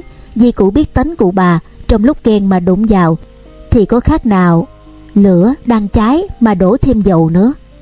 Vụ đánh ghen của cụ bà, Làm âm hết Nghệ An. Nàng Dung đành phải trốn khỏi Nghệ An ra Thanh Hóa ở. Mấy tháng sau cụ ông được đổi ra làm tổng đốc Thanh Hóa, Và chỉ sau một năm, Cụ trở về làm thượng thơ bộ lại nhất phẩm triều đình Quế. Thỉnh thoảng gặp những chuyện trời ơi đất hỡi, Cụ bà lại đem chuyện cụ ông Mê say nàng Dung, Đem ra để nhiếc mốc. Hôm nay nhân phụ cụ bà giới thiệu duyên nàng dâu mới của cụ, Một cô gái xinh đẹp duyên dáng, Hầu hạ cậu chó rất mực cẩn thận làm đẹp lòng cụ bà. Nhưng cụ ông thấy nàng duyên xinh đẹp, Mà cho cậu chó lấy làm vợ Thì cụ thương, Nên cụ có ý cho thằng con trai người Chẳng ra người, Chó chẳng ra chó của cụ, Lại quá dâm đảng, Làm cụ bà nổi nóng, Lại nhắc đến chuyện nàng Dung ở Nghệ An Mà cụ ông đã say mê. Thì thằng Bảy cũng là dòng giống của ông hết, Chứ còn ai nữa. Con không giống cha thì giống ai đây? Nói như thế là do máu của ông. Ông còn nhớ chuyện con điếm chó cô đậu ở Nghệ An không? Nghe cụ bà nhắc đến chuyện nàng Dung ở Nghệ An Cụ ông đành lặng thinh Không nói năng chi nữa. Duyên bẽn lẽn đứng ở góc nhà Cụ bà có vẻ thương Duyên. Thôi con xuống nhà dưới ngang Con chịu khó chịu chồng con rồi mà thương bà nói với anh nguyện, nâng đỡ cho chú con. À có phải chú con làm lý trưởng phải không? Nàng Duyên đáp kẻ Dạ. Ừ rồi mà biểu anh nguyện nâng đỡ cho chú con làm cai tổng. Làm cai tổng độ một năm chi đó Hãy có kỳ thăng thưởng, Thì sẽ cho chú con ở nhà được làm cử phẩm. Duyên sung sướng, Đang chấp tay vái cha mẹ chồng rồi xuống nhà ngang. Đang xuống đến nhà ngang, Thì gặp một thiếu phụ bụng chữa gần ngày sanh, đó là lụa. Con gái cửu tẩm Đây là thầy đội tớm, Vợ lớn của cậu chó. Vì lụa bụng đã lớn, gần đến ngày sanh, nên cụ bà mới bảo quan quyện chọn duyên đưa về cho cậu chó. Mặc dù cậu chó là người, nhưng phong độ của cậu lại là loài khuyển. Nhưng cậu cũng biết làm chồng những cô gái đến với cậu, và cậu chó cũng đã làm cho các nàng sung sướng. Nên khi nghe mấy người hầu trong nhà nói, cụ bà vừa chọn thêm một cô gái khác cho cậu chó, lụa cũng thấy ghen tức. Lụa muốn nhìn tận mặt có người con gái nào lại đem thân đến cho cậu chó. Đời nàng sở dĩ phải làm vợ cậu chó chỉ vì nàng đã trót lỡ mang thai với mấy cậu học sinh bên vĩ dạ rồi. Với lại nàng cũng vì chức đội lệ của cha nàng mà nàng đành hy sinh làm vợ của cậu chó. Chương 10 Lụa ngồi dưới nhà ngang đang nói chuyện với mấy người làm trong dinh cụ lớn thì thím tám canh đã chỉ ra ngoài nói. Kìa mợ bảy nhìn coi mợ bảy hai đó. Trong mợ bảy hai, xinh lắm mà. Tha hộ cậu bảy sung sướng mê tơi ra nghe. Lão bác hành, người lính già hầu trong dinh cụ lớn từ lâu, cười cười mụ ni thật hay chuyện trong nhà cậu ấm con quan thì biết bao vợ cho xuể, mà chẳng ai cả. Chính mụ vừa đưa mợ hai xuống cho cậu bảy chứ còn ai nữa. Việc chi mụ còn phải mết với mợ lớn làm chi? Sớm muộn chi rồi, chị em trong nhà hai mợ cũng phải gặp nhau chứ. Lụa thấy nghẹn ngào tương tức. Tuy là không yêu cậu chó, nhưng lụa cũng thấy ghen tức. Lụa nhìn theo tay chỉ của mụ tám canh. Lụa thấy một cô gái thật xinh đẹp nước da trắng như trứng gà bốc, đôi mắt nhung tuyệt đẹp, miệng đỏ chối thật là duyên dáng, lụa cũng phải khen. Trông xinh quá nhỉ. Người đẹp như thế kia mà đưa cho cậu bảy thì cũng phí đi, sao không lấy chồng khác lại vô đây làm chi? Lụa nói thế mà nàng không nghĩ đến thân nàng, do đó khi nghe nàng nói, mỗi người đều nhìn nàng mỉm cười. Duyên đi nhanh xuống nhà dưới, mụ tắm canh liền gọi nàng duyên lại để giới thiệu với lụa. Mợ bảy hai ơi đây là mợ bảy lớn đó. Mợ bảy lớn có mang gần ngày sanh rồi, nên cụ lớn mới đón mợ về hầu hạ cậu bảy. Chị em trong nhà với nhau mợ hai chào mợ lớn đi. Duyên ngạc nhiên nhìn lụa, khẽ nhích miệng để chào. Lụa cũng ra điệu kẻ cả, chỉ gật đầu chứ không trả lời chi hết. Mụ tắm canh một mụ già có tánh hay xỉm, để cho lụa và duyên gây nhau. Mụ biết dù cậu chó chỉ là một gã đàn ông mang lốt người, nhưng giống loài khuyển cũng biết yêu đương, cũng thích thú chuyện gối chăn, lại được tiếng là cậu ấm con trai của quan thượng thư nhất phẩm triều đình. Nên làm gì mà đàn bà, người lấy cậu chó làm chồng lại không ghen? Ớt nào là ớt chẳng cay, gái nào là gái chẳng hay ghen chồng. Nhất là khi nghĩ đến cậu bảy hùng hục làm chuyện chịu vợ, cậu có sức lực và cậu lại khác người ở chỗ không biết lùi bước trước bất cứ lúc nào, mà lụa hay duyên đến với cậu. Giữa lúc tình hình đang có phần gây go thì tiếng cậu chó tru làm nàng duyên giật mình. Nàng chưa hề nghe được tiếng cậu chó tru như thế bao giờ. Nàng mới về đây được hơn một ngày, nàng đã bị cậu bảy nhận làm vợ, đã làm cho nàng so sánh giữa hai anh quan nguyện và cậu chó. Nghe tiếng cậu chó tru, mấy gã gia nhân và lụa nhìn nhau để coi ai là người phải xuống cậu chó. Tiếng cậu chó lại tru lên nữa. Lần này cậu chó lại tru rú lên, nghe thật khủng khiếp. Duyên ngạc nhiên nghe tiếng chó tru như là tiếng chó điên mà nàng vẫn thường được nghe mỗi khi có tin đã có chó dại chạy rong ngoài đường. Do đó, khi nghe lần đầu tiếng cậu chó tru, duyên còn lắng nghe lần thứ hai, duyên càng ngạc nhiên hơn vì tiếng chó tru gần hơn. Nàng lo ngại liền lên tiếng hỏi, tiếng chó tru ở đâu gần đây đó hỉ? Tiếng chó ni là tiếng chó dại rồi. Trời mùa nắng ni hay có chó dại lắm đó. Nghe duyên nói tiếng cậu bảy vừa tru là tiếng chó dại đám gia nhân cười ầm lên, làm chính lụa cũng phải buồn cười, nhưng nàng nói mốc ngay. Cô không biết tiếng chó tru đó ở đâu à? Duyên lắc đầu đáp, không. Ngay khi ấy, tiếng cậu chó lại tru lên thật lớn, làm mụ tắm canh lo ngại bảo lụa. Bợ lớn xuống coi cậu gọi chi cả, Đừng để cụ lớn nghe được tiếng tru của cậu bảy la rầy chết bây giờ. Lụa lắc đầu đáp, Tôi đang nghĩ, xuống làm sao được, Biểu cô hai đây xuống.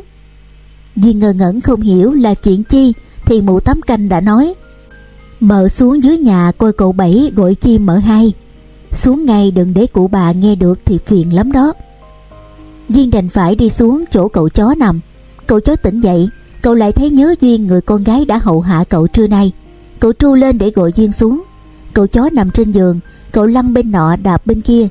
Trong gian nhà lờ mờ tối, Cậu chó nằm chờ đợi. Duyên lật đật đi xuống thì mụ tám canh cũng phải xuống theo Vì mụ biết dù sao Duyên cũng là người mới. Còn nhiều cảnh phải thất kinh Vì cử chỉ, vì dáng điệu của cậu chó. Mụ phải đi theo xuống Để có điều chi thì an ủi kịp thời nàng Duyên. Mụ tám canh biết Cụ bà có vẻ quý mến người con dâu mới này. Viên ngần ngại đứng bên ngoài.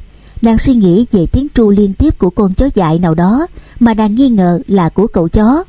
Người chồng kỳ lạ của nàng. Duyên buồn tuổi Nàng không ngờ, đời nàng qua tay quan huyện Anh ruột của cậu Bảy. Trong mấy đêm liền, Nay lại là vợ của cậu Bảy, Em ruột quan huyện Là cô gái quê trước thời phong kiến nghiêm nghị, Duyên chỉ biết tuổi thân Mà không dám hé răng phàn nàng Sao đau thương tràn ngập trong lòng nàng, Duyên còn đứng bên ngoài thì mụ canh đã bảo với Duyên, Mợ đứng đây để tôi vô, Coi cậu Bảy đã thức chưa? Mụ rón rén đi vào, Mụ đẩy cửa thì cậu Bảy ngẩng đầu dậy Mụ biết tánh cậu chó rồi, Nên mụ lên tiếng ngay. Tôi đó nghe cậu Bảy, Tôi đến coi cậu đã dậy chưa, Để tôi biểu mợ hai vô hầu cậu đó. Trời, ai lại tung hết cả mệnh ra thế ni, Nhớ mợ hai vô trông thấy tay chân người ngợm của cậu như thế này, Mợ ấy sợ không ở nữa, Thì mất vợ nghe không? Cậu Bảy nằm im, Mụ tám đập vào vai cậu Bảy một cái, Rồi nói với giọng chua cay. Đồ quỷ đắp chăn lại mà nằm, Rồi mở hai vô đó. Nằm im nó nghe. Cựa quậy là mất vợ nghe chưa? Cậu Bảy cũng có phần khá ngoan. Cậu cũng biết giá trị của cậu Chỉ là con quan lớn nhất phẩm triều đình, Nên mới có vợ hầu hạ như thế ni Chớ như con người đầy lông lá Có tiếng tru như chó tru, Thì có mà khỉ nó chịu hầu cậu. Cậu chó nằm im, Nhưng người cậu ngứa ngáy khó chịu. Sau những cơn truy quan Nằm mệt một lát, Cậu chó lại đòi hỏi mạnh hơn nữa. Bên ngoài mụ tắm canh ngết mắt nhìn qua khe cửa Thấy Duyên đã ngồi bên cậu chó rồi. Mũ mỉm cười lẹ làng, Quay về phía nhà ngang, Thì gặp lụa cái bụng chữa lật đật đi về phía phòng của cậu chó. Mụ tắm canh nhanh ý, Biết mở cả xuống làm gì rồi. Mở cả trong lúc bụng mang dạ chữa, Mơ cũng có ý ghen cái lối ghen tức của người đàn bà, Dù rằng không yêu người chồng. Nhưng khi thấy kẻ khác ghé vào, Họ cũng thấy náo nức tương tức. Tâm trạng đó là của lụa Mà mụ tắm canh với kinh nghiệm của người đàn bà đã già. Mụ đã thừa biết rồi. Mụ tấm canh bèn hỏi, Mợ cả đi đâu đó mợ? Lúa cười đáp, Đi coi thiên hạ làm gì nào. Mụ tấm canh rành mạnh đáp, Thì cũng thế cả, Nay mợ bụng mang dạ chữa, Thì mợ hai gánh giác hộ mợ chứ còn gì nữa. Lũ tức tối, Gánh giác cái chi? Mụ này thúi lắm, Mụ biết chi mà mụ biểu người ta gánh giác cho tôi. Tôi làm sao mà cần người ta gánh giác? Thôi mụ câm cái mồm thúi của mụ đi. Mụ tắm canh biết lụa đang ghen. Mụ cười một cách khinh bỉ. Mụ biết khi trước mà nói đến cậu chó thôi, Thì tha hộ thiên hạ dèm biểu xỉm. Thế mà nay lại ghen với cậu chó nữa cả. Bụng dạ con người nhất là người đàn bà, Làm sao mà biết cho được. Lụa xăm xăm đi lên phòng của cậu Bảy. Lụa dừng lại bên ngoài, Cúi xuống nhìn qua khe hở của bức vách. Trong nhà ánh sáng lờ mờ, Nhờ Duyên bận áo trắng Nên Lụa nhận ra Duyên dễ dàng. Duyên ngồi trên giường của cậu chó còn cậu chó nằm đắp chiếc chăn chiên ngang bụng. Bàn chân của cậu chó đen thủi mốc meo, thò ra ngoài. Cậu chó nằm nghiêng, Tay cậu vòng ra ôm lấy ngang lưng của Duyên. Duyên cố nghiêng người cho cậu chó khỏi ôm được nàng Trong tầm tay của cậu. Cậu chó thấy người vợ xinh đẹp của cậu Cố vụt ra khỏi tầm tay của cậu. Cậu bèn nghiêng người sang một bên, Đưa tay ôm ngang hông Duyên. Bàn tay đen nháy đầy lông của cậu chó đặt ngang trong lòng Duyên. Duyên ngượng nghịu nhưng rồi nàng cũng ngồi im cho cậu chó muốn làm gì thì làm. Vì Duyên ngồi nghiêng, Mặt nhìn nghiêng ra ngoài, Làm lụa trông rõ ràng bộ mặt trái xoan, Nước da trắng bốc, Đôi mắt bộ câu đen nháy, Miệng cười duyên dáng, Với đôi môi tươi, Làm chính lụa cũng phải khen là Duyên rất đẹp. Nhưng tiếc cho cuộc đời của Duyên, Một nàng thôn nữ xinh đẹp như thế, Không hiểu gì sao lại vào đây Lấy làm lẽ một gã đàn ông tàn tật, Người chẳng ra người, Chó chẳng ra chó. Lụa vì sự nghiệp của cha nàng Đã trót hiến thân cho mấy người tình của lụa, Mấy chàng học sinh, nên nàng đành phải dâng hiến cho cậu chó, chịu đựng sự yêu thương vộ vập của cậu ấm, con trai út của quan thượng thơ đậu triều nhà nguyễn. Lụa cố nhìn qua khe cửa để coi cậu chó hành động ra sao. Là người đã đi trước, lụa biết rõ con người của cậu chó lắm. Cậu chó không nói được, không có xương sống, nhưng cậu rất tinh khôn. Cậu biết thiên hạ có vẻ sợ cậu, vì cậu có nhiều điểm khác thường đối với những con người bình thường. Cậu chó nằm nghiêng mình ôm lấy duyên. Duyên cúi gầm mặt xuống im lặng. Cậu chó kéo Duyên nằm xuống bên cậu. Duyên cố gượng để chống lại, Thì cậu chó đã nhanh nhẹn đưa chân ra, Ngán người Duyên, Chặn Duyên nằm xuống bên cậu. Duyên đành phải chịu theo cậu chó, Người chồng của Duyên. Duyên dội vàng nhấc đầu lên, Đưa tay hất mái tóc của nàng ra đằng sau lưng, Cho nàng khỏi phải nằm chận lên. Cậu chó cuốn cuồng ôm ghì lấy Duyên. Lụa đứng bên ngoài nhìn qua khe cửa Đã trông thấy tất cả. Nàng khẽ thở dài. Lụa không thấy giận hay ghen với Duyên nữa. Bỗng nhiên nàng thấy thương tiếc cho con người xinh đẹp, Nước da trắng bóc đó. Thân thể Duyên lập lờ trong ánh sáng lờ mờ của gian phòng. Cậu chó đã làm cho Duyên không còn tự chủ được nữa. Hai ngày hôm nay, Duyên đã chịu đựng tất cả những gì mà cậu chó đòi hỏi ở nàng. Lùa nắm chặt lấy chiếc cột bên nàng. Còng lưng nhìn qua khe cửa để quan sát cho tỉ mỉ. Cậu chó đã làm cho Duyên hoàng hoại trong lòng tay của cậu chó. Lùa đứng hàng giờ như thế, cho đến khi mụ tám canh vỗ vào mông nàng khẽ nói, Mợ đang có mang đứng lâu như thế, không nên. Sao sanh khó lắm mà mợ bảy Lúa quay lại nhìn mụ tám canh cười, Khẽ thở dài, Chà, mụ nói tôi mới thấy mệt đó. Mụ tám canh thấy lụa lùi ra, Bèn ghé mắt nhìn vào lỗ thủng của khe cửa. Mụ hạt miệng, Chà, đồ quỷ. Lúa cười nói Mụ thấy người ta sung sướng không? Thằng quỷ sống đó mà. Mở ghen rồi phải không? Tuy trong lòng ức, Mà lụa vẫn làm ra bộ thản nhiên. Ghen chi mụ tám, Đời mình kể như bỏ rồi, Vô đây làm dâu cho người ta, Nhưng chỉ là thỏa mãn cho thằng quỷ sống ấy, Người chẳng ra người. Nói đến đây, Lụa sợ đến tai cụ bà thì chết. Với cậu Bảy, tuy là một thứ sinh vật người không ra người, Mà chó không ra chó, Nhưng là con trai út của cụ lớn thượng thơ đầu triều. Mụ tám đã ngoài 40 tuổi, Nhưng trong mụ vẫn còn xuân sắc lắm. Mụ đã ba đời chồng, Nhưng nay mụ lại độc thân. Mụ hầu trong dinh cụ thượng đã lâu Mụ nấu bếp rất sành, Nên trong dinh người nào cũng quý mụ Mụ là một thứ quản gia trong coi trong gia đình, dàn xếp những chuyện nhỏ nhen và cãi vã giữa đám đệ tớ, và nhất là để dụ dỗ những cô gái vào làm vợ cậu chó, chịu nhập phòng với cậu chó khi ban đầu mụ tám canh biết rằng hễ cô nào chịu chấp nhận chiều đãi cậu chó thì rồi sau này mụ khỏi phải dỗ dành nữa. Cô ta cũng phải xoắn lấy cậu chó. Mụ tám canh có nhiều kinh nghiệm về tình ái nên mụ cho rằng đã ăn ở với cậu chó rồi thì khó mà xa cậu chó được. Cậu chó làm thỏa mãn cho những người đàn bà.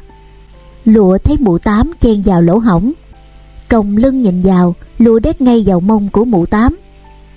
Nè lui ra làm chi mà trông dữ quá mụ tám mỉm miệng cười. Bên trong duyên nghe có tiếng bàn tay lụa đét vào mông đích của mụ tám, và tiếng lụa nói, nàng giật mình ngoảnh mặt ra nhìn.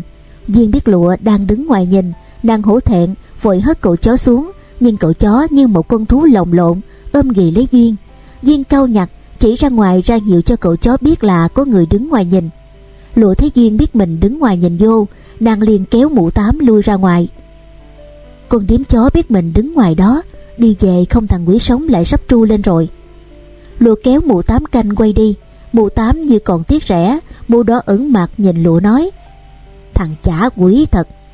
Lụa cười không đáp, mụ tám lại khiêu chuyện, râu nào sâu ấy, cụ lớn hồi thiếu thời cũng đã ăn chơi lắm mà. Mụ biết chuyện cụ lớn ăn chơi, Chà, cụ bà ghen lắm, làm sao cụ lớn chơi bời cho được? Mụ tám cười Đàn bà càng ghen, đàn ông càng đi chơi dữ. Mụ đã có kinh nghiệm nhiều rồi phải không? Lão quản canh ngày trước có đi chơi không? Chắc mụ tám ghen lắm phải không?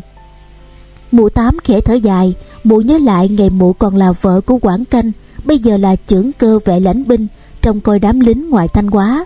Khi lấy mụ tám, Lão lãnh binh canh mới chỉ là cai khố vàng. Sau nhờ lấy được mụ tám, Cụ thượng thương, cho đi làm đội lệ. Mụ tám theo chồng ra tận Nghệ An. Mụ có với quản canh hai đứa con, Mụ ghen lắm. Mụ tám kệ thế, là nhờ mụ Mà quản canh đi được đội lệ, Nên mụ càng hành quản canh hơn. Sau đó, đội canh đổi ra làm đội lệ Đông Sơn Thanh Quá Một phủ giáp tỉnh lỵ Mà dạy phố cô đầu.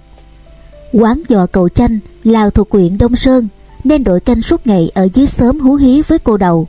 Mụ tám tưởng chồng đi việc quan Nhưng về sau mụ mới biết Chồng đi hát ả đào, bao tiền bạc, ăn hối lộ, Đều sắm cho cô vợ lẽ ả đào. Mụ ghen lồng lên Phát chào đến tận nhà người vợ lẽ của đội canh Để đánh ghen. Nhưng người vợ lẽ của đội canh cũng không phải dạng vừa. Cô ta đánh lại mụ tám và còn rêu rao. Mi có chồng không giữ thì mất chồng, Mi có giỏi thì trối gò thằng đội canh ở nhà. Còn nói đến đây thì nói là chồng tao, Đứa mua vô ghen tao đánh thấy mẹ. Mụ tám canh uất hận đành về xỉ vải chồng. Nhưng đội canh quá mê người vợ lẽ, Nên lúc đầu đội canh còn nể nang mụ tám. Về sau đội canh đâm liều, Vì đằng nào mụ tám cũng đã ghen rồi, Thì cho ghen luôn. Đội canh về thẳng nhà người vợ lẽ ở, Mụ tám vào kiện nơi quan phủ. Quan phủ không biết xử lý ra sao. Vì quan phủ biết đội canh là đầy tớ của cụ thượng bộ lại. Dính dạo phiền lắm, Mất tri phủ dễ như bẩn. Mụ tám ghen mãi không được, Người mụ gầy đi vì ghen ước Lúc đó bác thị gã lính lệ làm trong phủ rất đẹp trai, Được hàm bác phẩm, Ra ăn ủi mụ. Mụ đâm mê bác thị. Mụ ăn ở với bác thị Để mặc cho đội canh đi chơi đâu Thì mụ cũng không cần giữ nữa. Lúc đầu đội canh biết nhưng cũng làm ngơ cho xong, Vì ông ăn chả thì bà ăn nem. Người vợ cô đậu của đội canh biết chuyện mụ vợ cả nhân tình với bác thị, Bèn nghĩ cái độc chiếm đội canh. Người vợ cô đầu tỉ tê riết mốc đội canh, Nào danh tiếng bà đội, Mà làm như thế, Hàng phủ họ còn coi thầy đội ra chi nữa. Nếu không lấy thì cũng bắt quả tang rồi ly dị cho xong đi. Thầy đội canh nghĩ phải, Bèn bố trí bắt mụ tám canh và bác thị, Quả tang đang nằm trong nhà đội canh. Mi phụ bạc tao thì tao làm thế đó. Tao đố mi làm chi tao thì làm đi. Rồi mi thấy tao về Quế Rồi mi mới thấy. Câu hăm dọa của mụ tám làm đội canh cũng đâm ớn. Vì đội canh đã biết mụ tám rất được cụ thượng bộ lại thương. Đội canh đành giảng hòa bằng cách buộc mụ tám và bác thị phải làm tờ nhận tội, Rồi buộc bác thị phải lấy mụ tám không được ghen tuôn chi với đội canh nữa. Mụ tám thì không chịu, Nhưng bác thị van nài cho mụ chịu Để khỏi phải bị đưa ra phủ. Mụ tám yêu bác thị nên bằng lòng làm giấy nhận tội. Thầy là từ đây, Bác thị là chồng của mụ tám còn đổi canh thì công khai đưa người vợ của đầu về làm vợ chính thức. Ăn ở với bác thị được 2 năm không có con, mụ tám lại bị bác thị dụ dỗ, lấy hết tiền bạc, rồi cho vợ cả đến đánh ghen, xé tan nát mụ tám. Trong khi ấy, đội canh được thăng chánh quản về tỉnh thanh quá ở, mụ tám uất hận đành ôm con về quế trở lại làm gia nô cho cụ thượng. Đời chồng cuối cùng của mụ tám là bác thị, nhưng đời mụ còn dài mới 41 tuổi mũ còn có thể lấy chồng được nữa. Mỗi lần được nhìn qua khe cửa, thấy cảnh cậu chó và duyên hay lụa mà lòng mụ lại thấy xốn sang, nhớ thương chuyện cũ. Mụ quay lại đi sát bên lụa. Khoác lấy lưng của lụa vừa đi vừa nói, thằng cha quỷ thật, trời sinh hắn ra để như thế đó, mợ có thấy không? Lụa ngượng nghịu khẽ gật đầu hưởng ứng. Lụa đang nghĩ về giá trị của mình trước sự xâm nhập của duyên. So sánh với duyên, lụa thấy nàng kém duyên thật nhiều thứ Lụa thấy chỉ trong vài ngày sau khi Duyên đến làm vợ của cậu chó, nàng đã thu phục được sự tin yêu của cụ lớn, nhất là cụ bà, ảnh hưởng rất lớn đến cụ ông. Còn cậu chó là người chồng tật nguyền, chỉ biết nằm bò, làm những chuyện trả thù đàn bà mà thôi. Lụa thấy cần phải đối phó cách nào mà giữ lấy quyền lợi của nàng. Nàng tin rằng đứa con trong bụng nàng đây không phải là con của cậu chó, nhưng dù sao trên pháp lý, trên sự công nhận của gia đình cụ thượng, đó là con của cậu chó, là dòng dõi của cụ thượng. Lụa vừa đi vừa nghĩ lòng chán chường. Mụ tắm canh và lụa xuống nhà ngang Nơi những gia nhân thường quay quần bên nhau Nói chuyện phím. Lão bác tụ thấy mụ tám đi xuống Bèn lên tiếng hỏi. Xong chưa mụ tám? Mụ tám biết lão bác tụ nói móc lò. Mụ cười hỏi lại. Xong cái chi? Xong cái mụ nội ông ấy à? Bác tụ cười hỏi lại. Xong là chuyện cậu bảy đã xong chưa? Mợ hai đã bằng lòng chưa? Nghe bác tụ hội ấm ớ, lối trêu chọc sổ xiên Mụ tám lại chửi thề. Đến ghét thằng cha mất dịch ni, Toàn hỏi chuyện móc lò. Mi muốn hỏi thì đợi mở hai xuống mà hỏi, Chứ mụ nội mi thì làm sao biết được xong hay không xong? Lão bác tụ cười nham nhở. Bởi vì ở dưới ni nhìn lên, Thấy mụ tám công mông nhìn vô trong phòng của cậu chó, Nên ai cũng cho rằng mụ làm quan thị. Nên tôi mới hỏi chuyện mợ hai với cậu bảy đã xong chưa? Xong hay không thì mụ biết chứ ai. Mụ tắm canh vừa giận lại vừa buồn cười, Cái giọng nói mốc lọ của bác tụ. Mụ đưa tay véo vào đùi non của bác tụ Và nghiến răng nói, Thằng già mắt dịch mi ấm ớ lắm. Mi nói ai là quan thị? Mi muốn coi thì lên mà coi cậu bảy đang làm chi. Còn chuyện mở hai có bằng lòng hay không? Chuyện chi đến mi? Lão bác tụ là người vô hậu cụ thượng đã lâu Hắn đang hy vọng được cụ thưởng cho đi đội lệ ở huyện nào đó. Bác tụ mới gần 40 tuổi, Còn kém mụ tám canh 6 hay 7 tuổi chi đó. Bác tụ nói chuyện rất có duyên, Nên mụ tám canh cũng có cảm tình với bác tụ Nhưng mụ không dám bơm sờm với bác tụ Vì mụ lớn hơn bác tụ những 7 tuổi, Thì khó mà bơm sờm với. Bác tụ treo mụ tám canh không được, Lại quay sang treo lụa. Mợ bảy nghĩ sao về chuyện mợ hai với cậu bảy? Trong mợ hai xinh quá hen. Lúa cười đáp có ai dám cãi rằng mợ hai của cậu bảy không xinh đâu? Bác tụ cười nói Mợ bảy lại đổ ghề tương rồi đó. Của trời mà mợ ơi, Ai ngắn tay không với tới? Lùa cáo kỉnh đáp, Chú này lạ chưa? Ai thèm ghen với cái ngữ đó? Bác tụ thấy lụa có vẻ cáo lại càng trêu già. Làm chi mà không ghen mợ ơi? Lúc nãy mợ và mụ tám vừa còng lưng nhìn vào chỗ cậu bảy hì hục, thì làm cái gì mà mợ không phải nổi cơn ghen. Còn mũ tám thì làm chi mà hỏng nổi máu hồng bào lên. Cậu Bảy cũng là người chứ, nhất là cái thứ người của cậu Bảy nổi tiếng là quá khổ thì càng oai dũng hơn thiên hạ rất nhiều. Còn khối đứa mê cậu Bảy. Lụa ngựa nghịu, mụ tám canh cũng phải nguyết dài bắt tụ mà đi vào nhà trong. Giữa lúc đó, Duyên lặng lẽ đi vào. Duyên có vẻ ngượng nghịu khi nghe được bác tụ nói về cậu chó. Duyên biết mọi người đang bàn tán về mình. Duyên đến hầu cậu Bảy, làm vợ cậu Bảy được hai ngày nay. Duyên không ngờ người chồng của mình không nói được và cũng không ngồi được vì cậu Bảy không có xương sống. Cậu Bảy chỉ bò quanh nhà và khi cần thì cậu tru lên như chó dại tru. Duyên là cô gái quê Thiết Trinh, được cha đưa lên quyện để quan quyện đưa nàng về thư dinh của cụ thượng hầu hạ cậu Bảy, tức cậu chó, người con trai út của cụ thượng bị tật nguyền. Duyên không hiểu nàng sẽ phải làm gì, nhưng đến nay thì nàng đã rõ nhiệm vụ và bổn phận của nàng rồi. Cô thượng bà đã nhận nàng là con dâu, nói nàng là vợ của cậu Bảy, tức là con trai út của cụ thượng nằm trong căn nhà ngang đó. Duyên đã chịu làm vợ cậu Bảy, nàng đã có dịp so sánh giữa hai anh em. Duyên chưa biết Lụa là vợ lớn của cậu Bảy. Vì Lụa có mang nên cụ bà muốn giữ gìn cái thai cháu của cụ được khỏe mạnh. Cụ bảo quan nguyện chọn cho cụ một cô gái quê và thay Lụa người vợ lớn của cậu Bảy. Duyên xuống dưới nhà ngang thì mụ tám canh từ trong nhà đi ra, mụ tám canh nhanh lẹ hỏi. Mợ hai có lẽ chưa gặp mợ cả đấy hỉ, để tôi giới thiệu cho mợ hai gặp nhau. Chỗ chị em trong nhà, chị ngã thì em nâng, có vẻ thì đỡ nóng tay. Có chị em đỡ cả ngày lẫn đêm, phải không mợ cả? Lụa ở trong nhà nghe mụ tám canh nói, nàng xì một tiếng và nói Cái mụ tám thật là lắm miệng, cái chi mà chị với em Thúi quá chịu không được. Con này chẳng có chị em với đứa mua hết. Mụ tám từ nhà ngoài đi vào, Nắm lấy tay lụa kéo ra nói, Ra đây mở cả. Tôi giới thiệu cho mợ biết mợ hai. Lụa định dằn tay của mụ tám ra. Nhưng rồi lụa cũng theo mụ tám ra ngoài.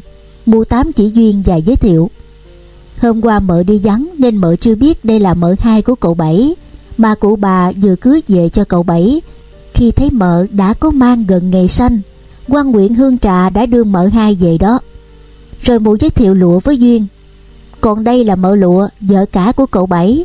Mợ lụa đây có mang, nên mợ vô thế mợ cả để hậu hạ cho cậu Bảy. Duyên ngượng nghịu khẽ thở dài, nàng không ngờ bây giờ nàng lại làm lẽ cậu ấm. Duyên khẽ gật đầu chào lụa. Thưa chị, lụa hết dịch gật đầu rồi nói.